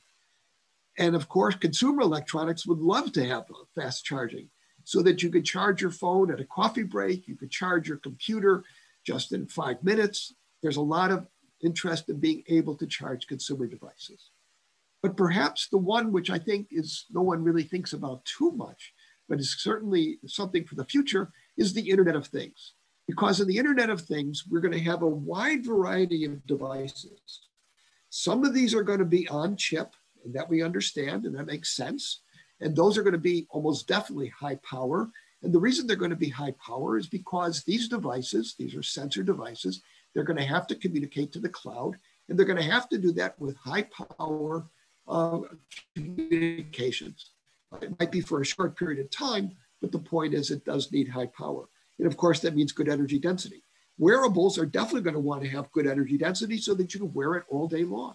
So the combination of high power and energy and good uh, high power and high energy density is not just for today's applications that we can see, it's for tomorrow's applications as well. So I have very little doubt that this is going to be a terrific area to, uh, to continue in the future. So what do we know about this? What can we say about the materials that, that we want and what kind of characteristics do we want? So in one case, we talked about capacitors, electric double layer capacitors.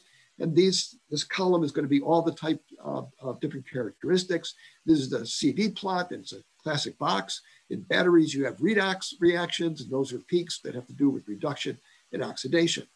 In between, you have a pseudocapacitor. And these pseudocapacitors are intended to take the best of both worlds. And so let me go through that. So the point is that they're going to undergo redox reactions. And they're going to have two different. Uh, thank you, Mr. Chairman, for the kind introduction. And I would like thanks to the organizing committee uh, giving the chance for the, this uh, invited talk. And hello, everyone. I'm Jae Jang from Daegu Gyeongbuk Institute of Science and Technology. Uh, today, I'd like talking about the psychological tactile sensor employing uh, piezoelectric materials.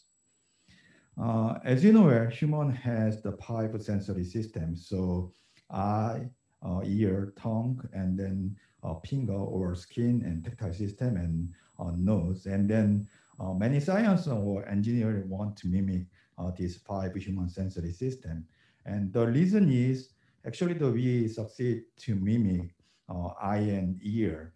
Actually, the ear make the recorder and then eye mimic uh, devices camera. And then uh, reverse engineering there is actuator also produce the uh, audio and television. As you know where this four invention is the most important invention in last 100 decade. And then they made tremendous impact to the human life. uh, so uh, we think if we succeed uh, to mimic another remain ones, we also give high impact to the, our human lives. however, when you look at the history of the ear of eye, we know why ear and eye can mimic first. The reason is there for the recorder case, anyway, the input parameter is just one uh, frequency. And eye case, uh, input parameter is three uh, RGB light. So uh, actually that means the if we have the smaller input parameter for the scientist engineer can develop easily.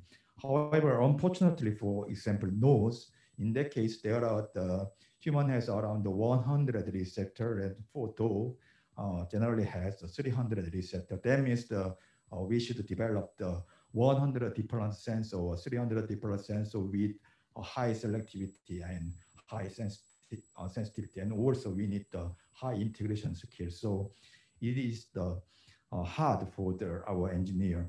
So we believe the next one is the tongue or the finger because the uh, tongue case, the uh, actually the input parameter is around the five to six, and then uh, finger is also similar. However, uh, considering the application field, tongue is limited, so uh, we want to develop the uh, artificial finger system.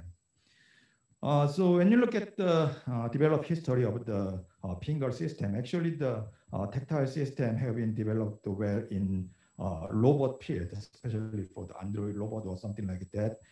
And that field, they want to hold some objects uh, using this kind of artificial uh, tactile system. However, unfortunately, uh, this kind of development does not induce the high impact for the, our life. ironically, actually, the, the most simplest tactile system, touch sensor, produced the high impact. Actually, the this uh, tactile sensor embedded to the smartphone, and then they give the high impact. The reason is the not just come from the hardware issue. Actually, the uh, it also come from the software issue. So uh, the reason is that this tactile uh, touch system produce new user interface, and then they produce high impact for the, our life. So considering that this point, um, actually we want to mimic whole tactile system. Uh, that means uh, general research case, most of the tactile sensor focused on the this kind of the physical uh, mimic ones. So most of the research want the high sensitivity pressure sensor or temperature sensor or vibration sensor. However, if you uh, consider uh, human, actually the uh, human make some some finger um, motion using this, this kind of the uh, physical input detection. However, the other point, we also uh, produce some tactile feeling uh, from the uh, brain signal process. Uh, so our research motivation uh, leads to the, this kind of the physio psychological tactile feeling. So we want to produce the artificial pain or we want to produce artificial smooth or rough feeling uh, using this tactile system. So uh, we want to mimic uh, brain signal process as well as the development of the, this kind of the tactile sensor. Uh, so you can choose the various kind of the uh, mechanism for the tactile sensor. So uh, resistive or capacitive is well known. So we advanced experiment uh, advanced uh, battery material researches. So before talking about before talking about my uh, copper sulfide related uh, projects, uh, I I was interested in about how to control the surface of sulfide quantum dots. And usually quantum dots are synthesized by the colloidal synthesis, and we need to add. Uh, I can maybe I can use it. Uh, I'm not sure you guys can see this or not, but during the colloidal synthesis, we need to use uh, those kind of long chain oleic acid, which is which is supposed to be attached to on the surface of a PB uh, transient metal and the sulfide anions. And due to the exist existence of those oleic acid, we can we can precisely control the size of quantum dots, which are strongly corresponding to the band gap of those quantum dots. That is why the major advantage of quantum dot is a high tunable band gaps and uh, large production based on the colloidal synthesis and precise, precise synthetic uh, rules can be obtained. However, when we, when we make this quantum dots to the real electronic devices, those kind of long chains usually, usually hinder the transfer of electrons from one quantum dot to other quantum dots. So uh, during this project, uh, my main topic is how to remove those kind of long chain oleic acid uh, accurately uh, within uh, sustaining its original band gap properties. So the first one is uh, we would like to change the long chain oleic acid to the iodine, the one, the the atom which is known as the single atomic sized uh, molecules and single atomic sized compounds. And based on that, uh, in terms of the solar cell application and its parameter, we can figure out the all the related solar parameters, solar cell parameters like a PCE, uh, short circuit current, shunt resist, and a series resist, all those uh, all those parameters which are strongly related to the electronic transport have been improved well. So replacing exist long chain acid with the halide ion for the better passivation and time-dependent halide exchange procedure to optimize surface passivation was one of my research accomplishment in terms of quantum dots. And next one is hybrid ligand exchange. Uh, even just using a one atomic, one iodine related atomic uh, passivation is not uh, perfectly cover all the location of quantum dot surfaces. So we need to find the other candidate to change this oleic acid. Then uh, in that cases, we use the hybrid ligand exchange method. So finding an organic and inorganic compounds to passivate the surface quantum dots. And uh, in here, we use a pyridine materials with iodine. And uh, for the characterization uh, in terms of time resolved PL, PL, and FTIR, we figure out the existence of oleic acid are strongly removed and the exciton, I'm sorry, the excitons can be well maintained uh, before the recombination. And finally, we can uh, prove the improved solar cell efficiency uh, between the non-passivated quantum dot films and uh, hybrid passivated quantum films. So reco recovering uh, based on using this two different hybrid ligand exchange method. By using this hybrid ligand exchange method, uh, we can we can recover not perfectly passivated trap site on PBS quantum dot, and finally improve all the source related parameters. So uh, after after those kind of interest in the quantum dot passivation, I am also interested in about how to synthesize sulfide related materials. And which is strongly related to today's topic is uh, how to design highly transparent and conductive transient metal sulfide electrodes. As you guys may know, a TCs, a transparent conductive electrode, can be uh, can be used in many different applications. First one is OLED, uh, OLED uh, stretchable LED, solar cells, even TC heater, even EMI shielding, electromagnetic interference shielding uh, application, all those TC materials and all those TC can candidate should be synthesized and should be applied on the target substrate.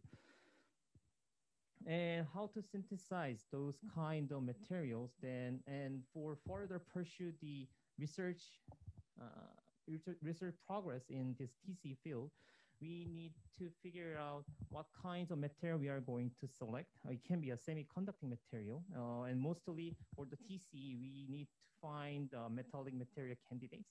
And somehow it can be uh, it can be a synergistic combination between inert and the metallic material for the stability under the flexible substrates. And we need to think about how to synthesis those kind of a TCE or electron materials. We can use a hydro, hydrothermal or solvothermal method uh, by using a solution-based synthetic routes or combustion CVD method like a metallic MOS2 or metallic graphene can be synthesized under this CVD. Or to design the nanostructure material, we can also use a colloidal synthesis. And finally, for the large deposition, electrode deposition is one, one of the synthetic candidates to make those kind of TC electrodes. And we also thinking about uh, this TC can be usually used as the industrial, uh, industrial target and industrial pur purpose. And to make it more possible to use in industrial uh, industrial purpose, there can be a like low-throw process as pre-ink preparation can be a two well-known effect for the practical fabrication. And finally, we need to we need to check and we need to characterize uh, the synthet synthesized material, uh, various uh, techniques like XC, XRD, SEM, TEM, or PL. All those characterized technique has been used and finally, those after the material selection, synthesis, the practical fabrication, and the characterization, it can be applied in uh, energy application like uh, solar cells or other TC electrode like uh, uh, photovoltaic or uh, light-driven sensors and all those different applications. Uh, and in this topic, we are targeted to make uh, copper sulfide, the transition metal sulfide. And the reason why we are selecting the sulfide materials, there are many, uh, many advantages of sulfide materials. First one is a high theoretical conductivity. And second is high applicability under a flexible system. So uh, the future application has been changed and has been drawn to the flexible system and all those TC electrodes should be uh, should be on the highly conductive and transparent property on the flexible, even stretchable substrate. So what is the drawback of synthesizing those kind of sulfide materials? And as you, as you guys can imagine, uh, recently all those sulfide synthetic materials are strongly related to um, strong the CVD method or solution-based method. All those methods require a high temperature treatment or a long time treatment to synthesize the structure and structure and nanostructure sulfide materials. However, uh, for the industrialized point of view, we need to find the other sulfur source which can uh, which can convert a transition metal atom uh, successfully and then fastly without heat treatment uh, might be a proper and a promising candidate to uh, use those kind of sulfide materials in industrialization. Uh, industrialization. For fibers using wet spinning. The video shows fibers are spinning from needle. The diameter and length of fibers can be controlled. The maximum initial conductivity of the fibers synthesized by wet spinning was more than 17,000 JS per centimeter with a rupture tensile strength of 50%. The maximum strength could be reached to 419% by decreasing the conductivity to more than 200%, uh, 200 JS per centimeter. However, the conductivity of the fiber was decreased when the fiber was stretched. The elasticity of the fiber was bad. To solve this problem, we coated elastic PDMS around fiber.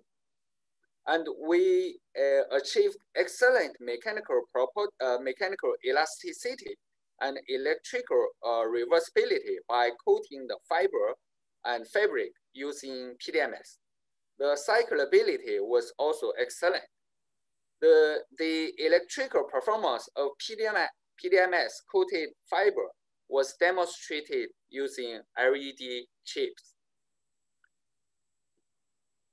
Uh, to improve the uh, intris uh, intrinsic elasticity of fiber, we fabricated the fiber using silver uh, flower and polyurethane. The diameter and length of fiber can also be controlled. An extraordinarily high conductivity of more than 40,000 CS per centimeter was uh, obtained by silver nanoflowers, which is two orders of magnitude greater than that of fibers synthesized using uh, silver nanoparticles. This was due to the enhanced surface uh, surface area and uh, the uh, coalescence of nano disc shaped uh, petals during uh, curing process. After the pre-stretching cycle, the fiber exhibited excellent elastic behavior. During the first stretching cycle up to 70% strain, there was no hysteresis in connectivity during the stretching and releasing process. The pre-stretched fiber demonstrated excellent mechanical elasticity up to 75% strain, and the, the length of the fiber returned to the initial value after uh, releasing the tensile stress. We can twist the fiber into a rope and use it as elastic uh, interconnect wires. The excellent elas uh, elastic property of the ropes enable selective uh, illumination of a design spot. The LED could be retained to the original uh, position uh, after the illumination. We uh, uh, we can also uh, knit the fibers into fabric. The pore was first deformed, and the fibers started to rupture at 210% strain. The connectivity of fabric was not changed and 100% strain due to the structure of fabric. We replaced a long rigid wire using our fabric and it can transfer signal of force and, uh, and position. Uh, next is the stretchable semiconductors. Here, I just show uh, our part of stretchable semiconductors. We synthesized uh, uh, titanium dioxide tubes by anodic oxidation. The film of tubes was very brittle as you can see the video. The stretchability was less than 2%. When we embedded the tube film into conductive film, it can be stretched up to 200% strain and semiconducting properties were maintained because net structure was formed. Uh, we uh, didn't finish it yet. Uh, I will move to the solid state uh, cooling part. Here is the solid state cooling. As you know, with the development of electronic technology, the integration of electronic chips is getting higher and higher, and the heat dissipation of chip is become, um, becoming more and more prominent. According to statistics, 55% uh, of the chips failure is caused by overheating, and the current cooling of the CPU is through aluminum heatsink, blowing with a fan. The fan uh, does have a good cooling effect, and it can be very small, but when the air temperature is too high, uh, the 녹화 시작돼요. 아, 네. 지금 된 거죠? 네네. 어, 네, 교수님 시작해 주시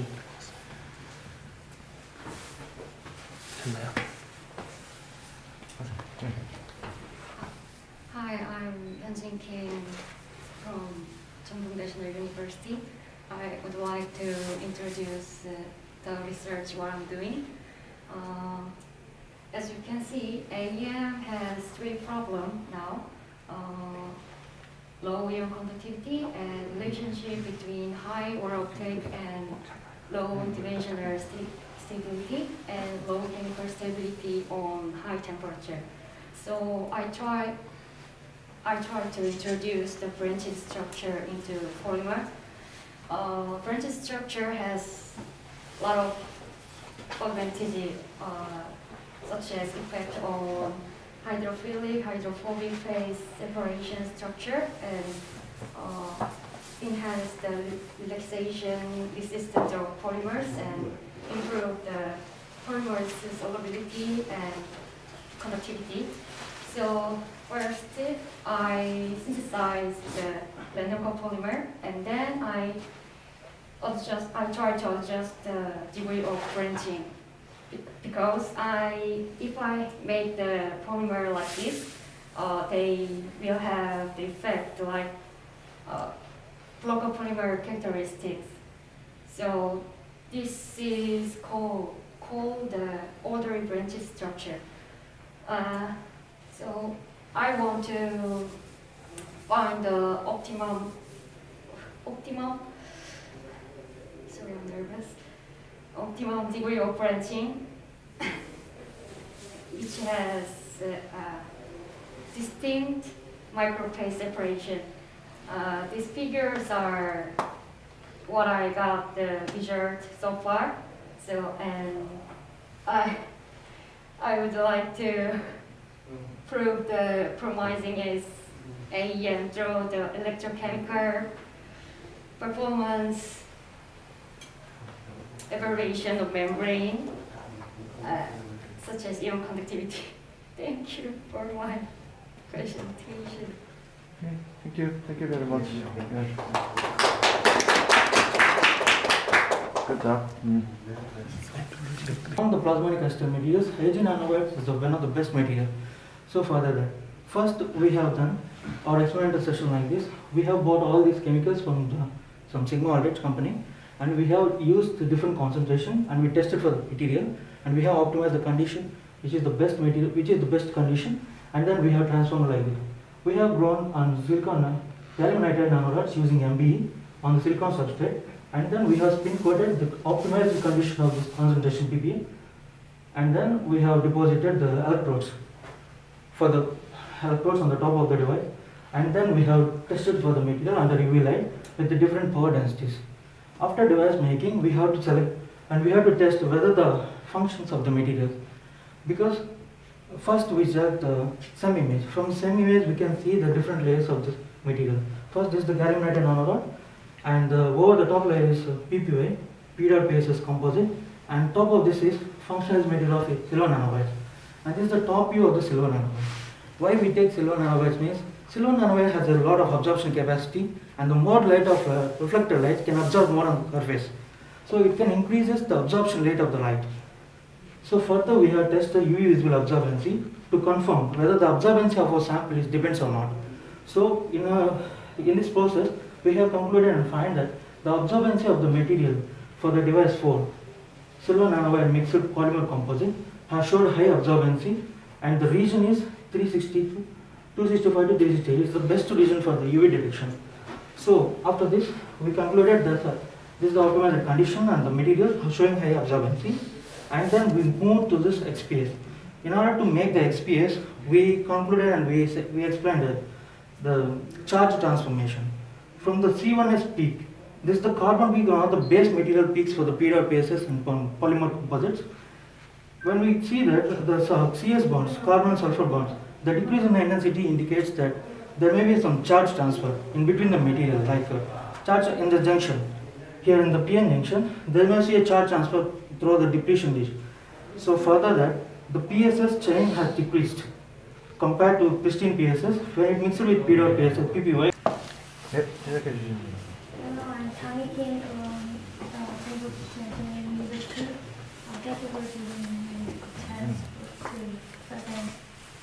the Poster at AFM conference.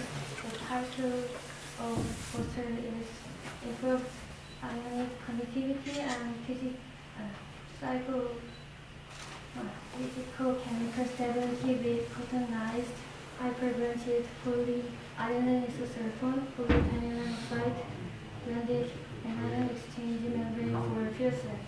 Uh, the introduction explained the need for development of AM, AMS anion exchange membrane with high ionic conductivity and excellent physical chemical durability for cell application.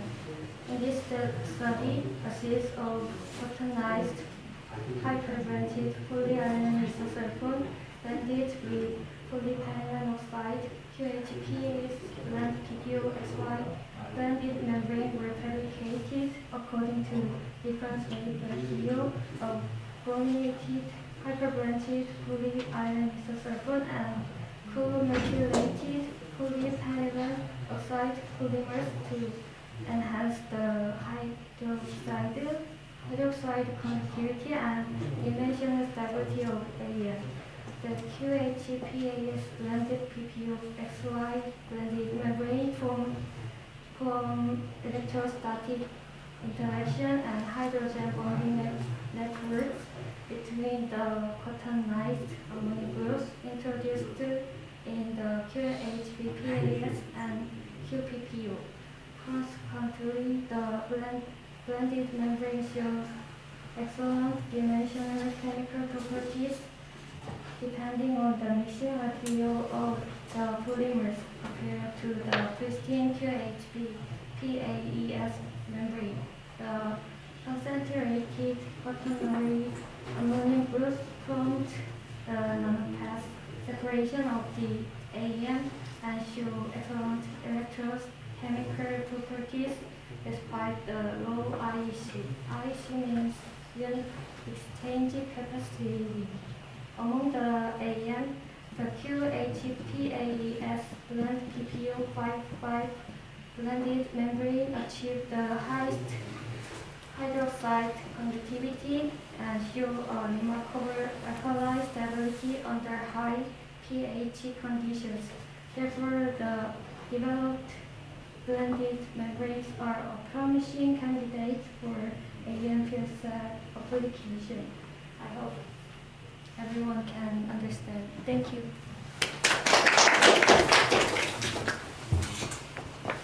On minus mineral 1 beta-glucoside and investigate effect of growth condition on the crystal property to uh, optimize growth condition.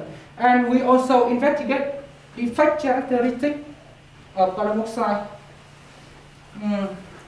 In this study, we use the MBE to the gallium oxide and we change growth condition and investigate uh, effect of growth condition in the property of gallium oxide and the effect in the gallium oxide. For gallium oxide growth on the C-plane sapphire substrate, uh, during growth, we monitor by the RAD button in here and measure surface morphology is measured by the uh, AFM. From this, you can see uh, surface morphology of calcine dependent strongly about the growth diameter and we got very smooth uh, of the surface at high temperature. It's ready to the device. From the XRD, data, ERD, we now method 201 beta galaxy grow on C-plane sulfide substrate. However, um, gallium not single crystal but has six power rotation. Um, crystal quality of gallium also dependent on the ờ, uh, growth condition. At high growth condition, at high growth temperature, crystal quality increase.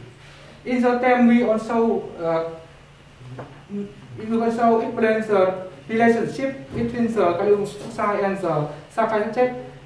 Also, then we also confirm gallium oxide grow on G-plane sulfide subject not single crystal, but have uh, six five rotation domain. For gallium oxide grow on minus crystal beta grow subject from IBD pattern, you can see at high temperature. ID button of the gallium oxide the same with the subject it means we got high crystal quality. From it, uh, from the ARM you can see at high temperature, uh, we got smooth surface by etching, uh, by select etching method, we determine two type of bit, the shape and the, the, the shape of bit, the shape of two bit different. So it should be effect uh, should be different. Uh, from the t there are two, two there are two divide uh, two type bit. Uh, from the the TM, we can know uh, origin of the the type bit. One is the one is the twin defect. One is the uh,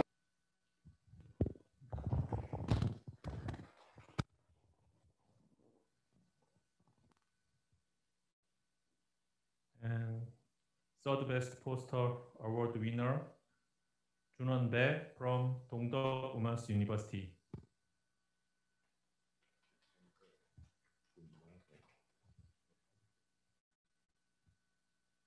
Okay, second best poster award winner, Shaka Palak from Inje University.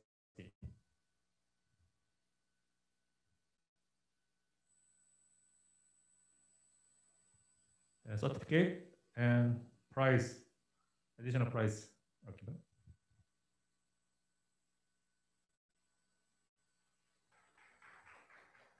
동진남 충남 내셔널 유니버시티. 동진남. Okay. Uh, we will deliver the certificate and additional prize by post. Okay. The best poster award winner Sunjin Lee from Korea National University of Transportation.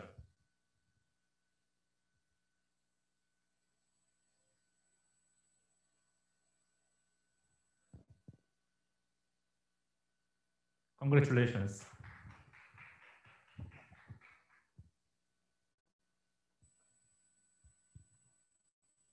Okay, uh, all session is, all morning session is closed, uh, the finished and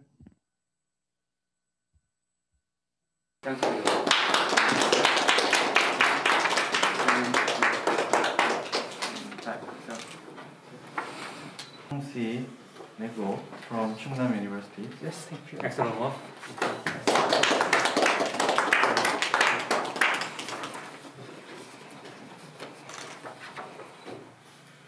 Second poster holder uh, was uh, Sang Hee Kim from the Jeongdong University.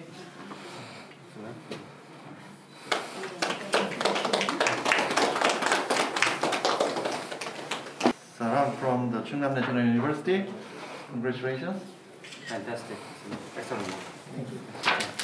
That's yours. I did.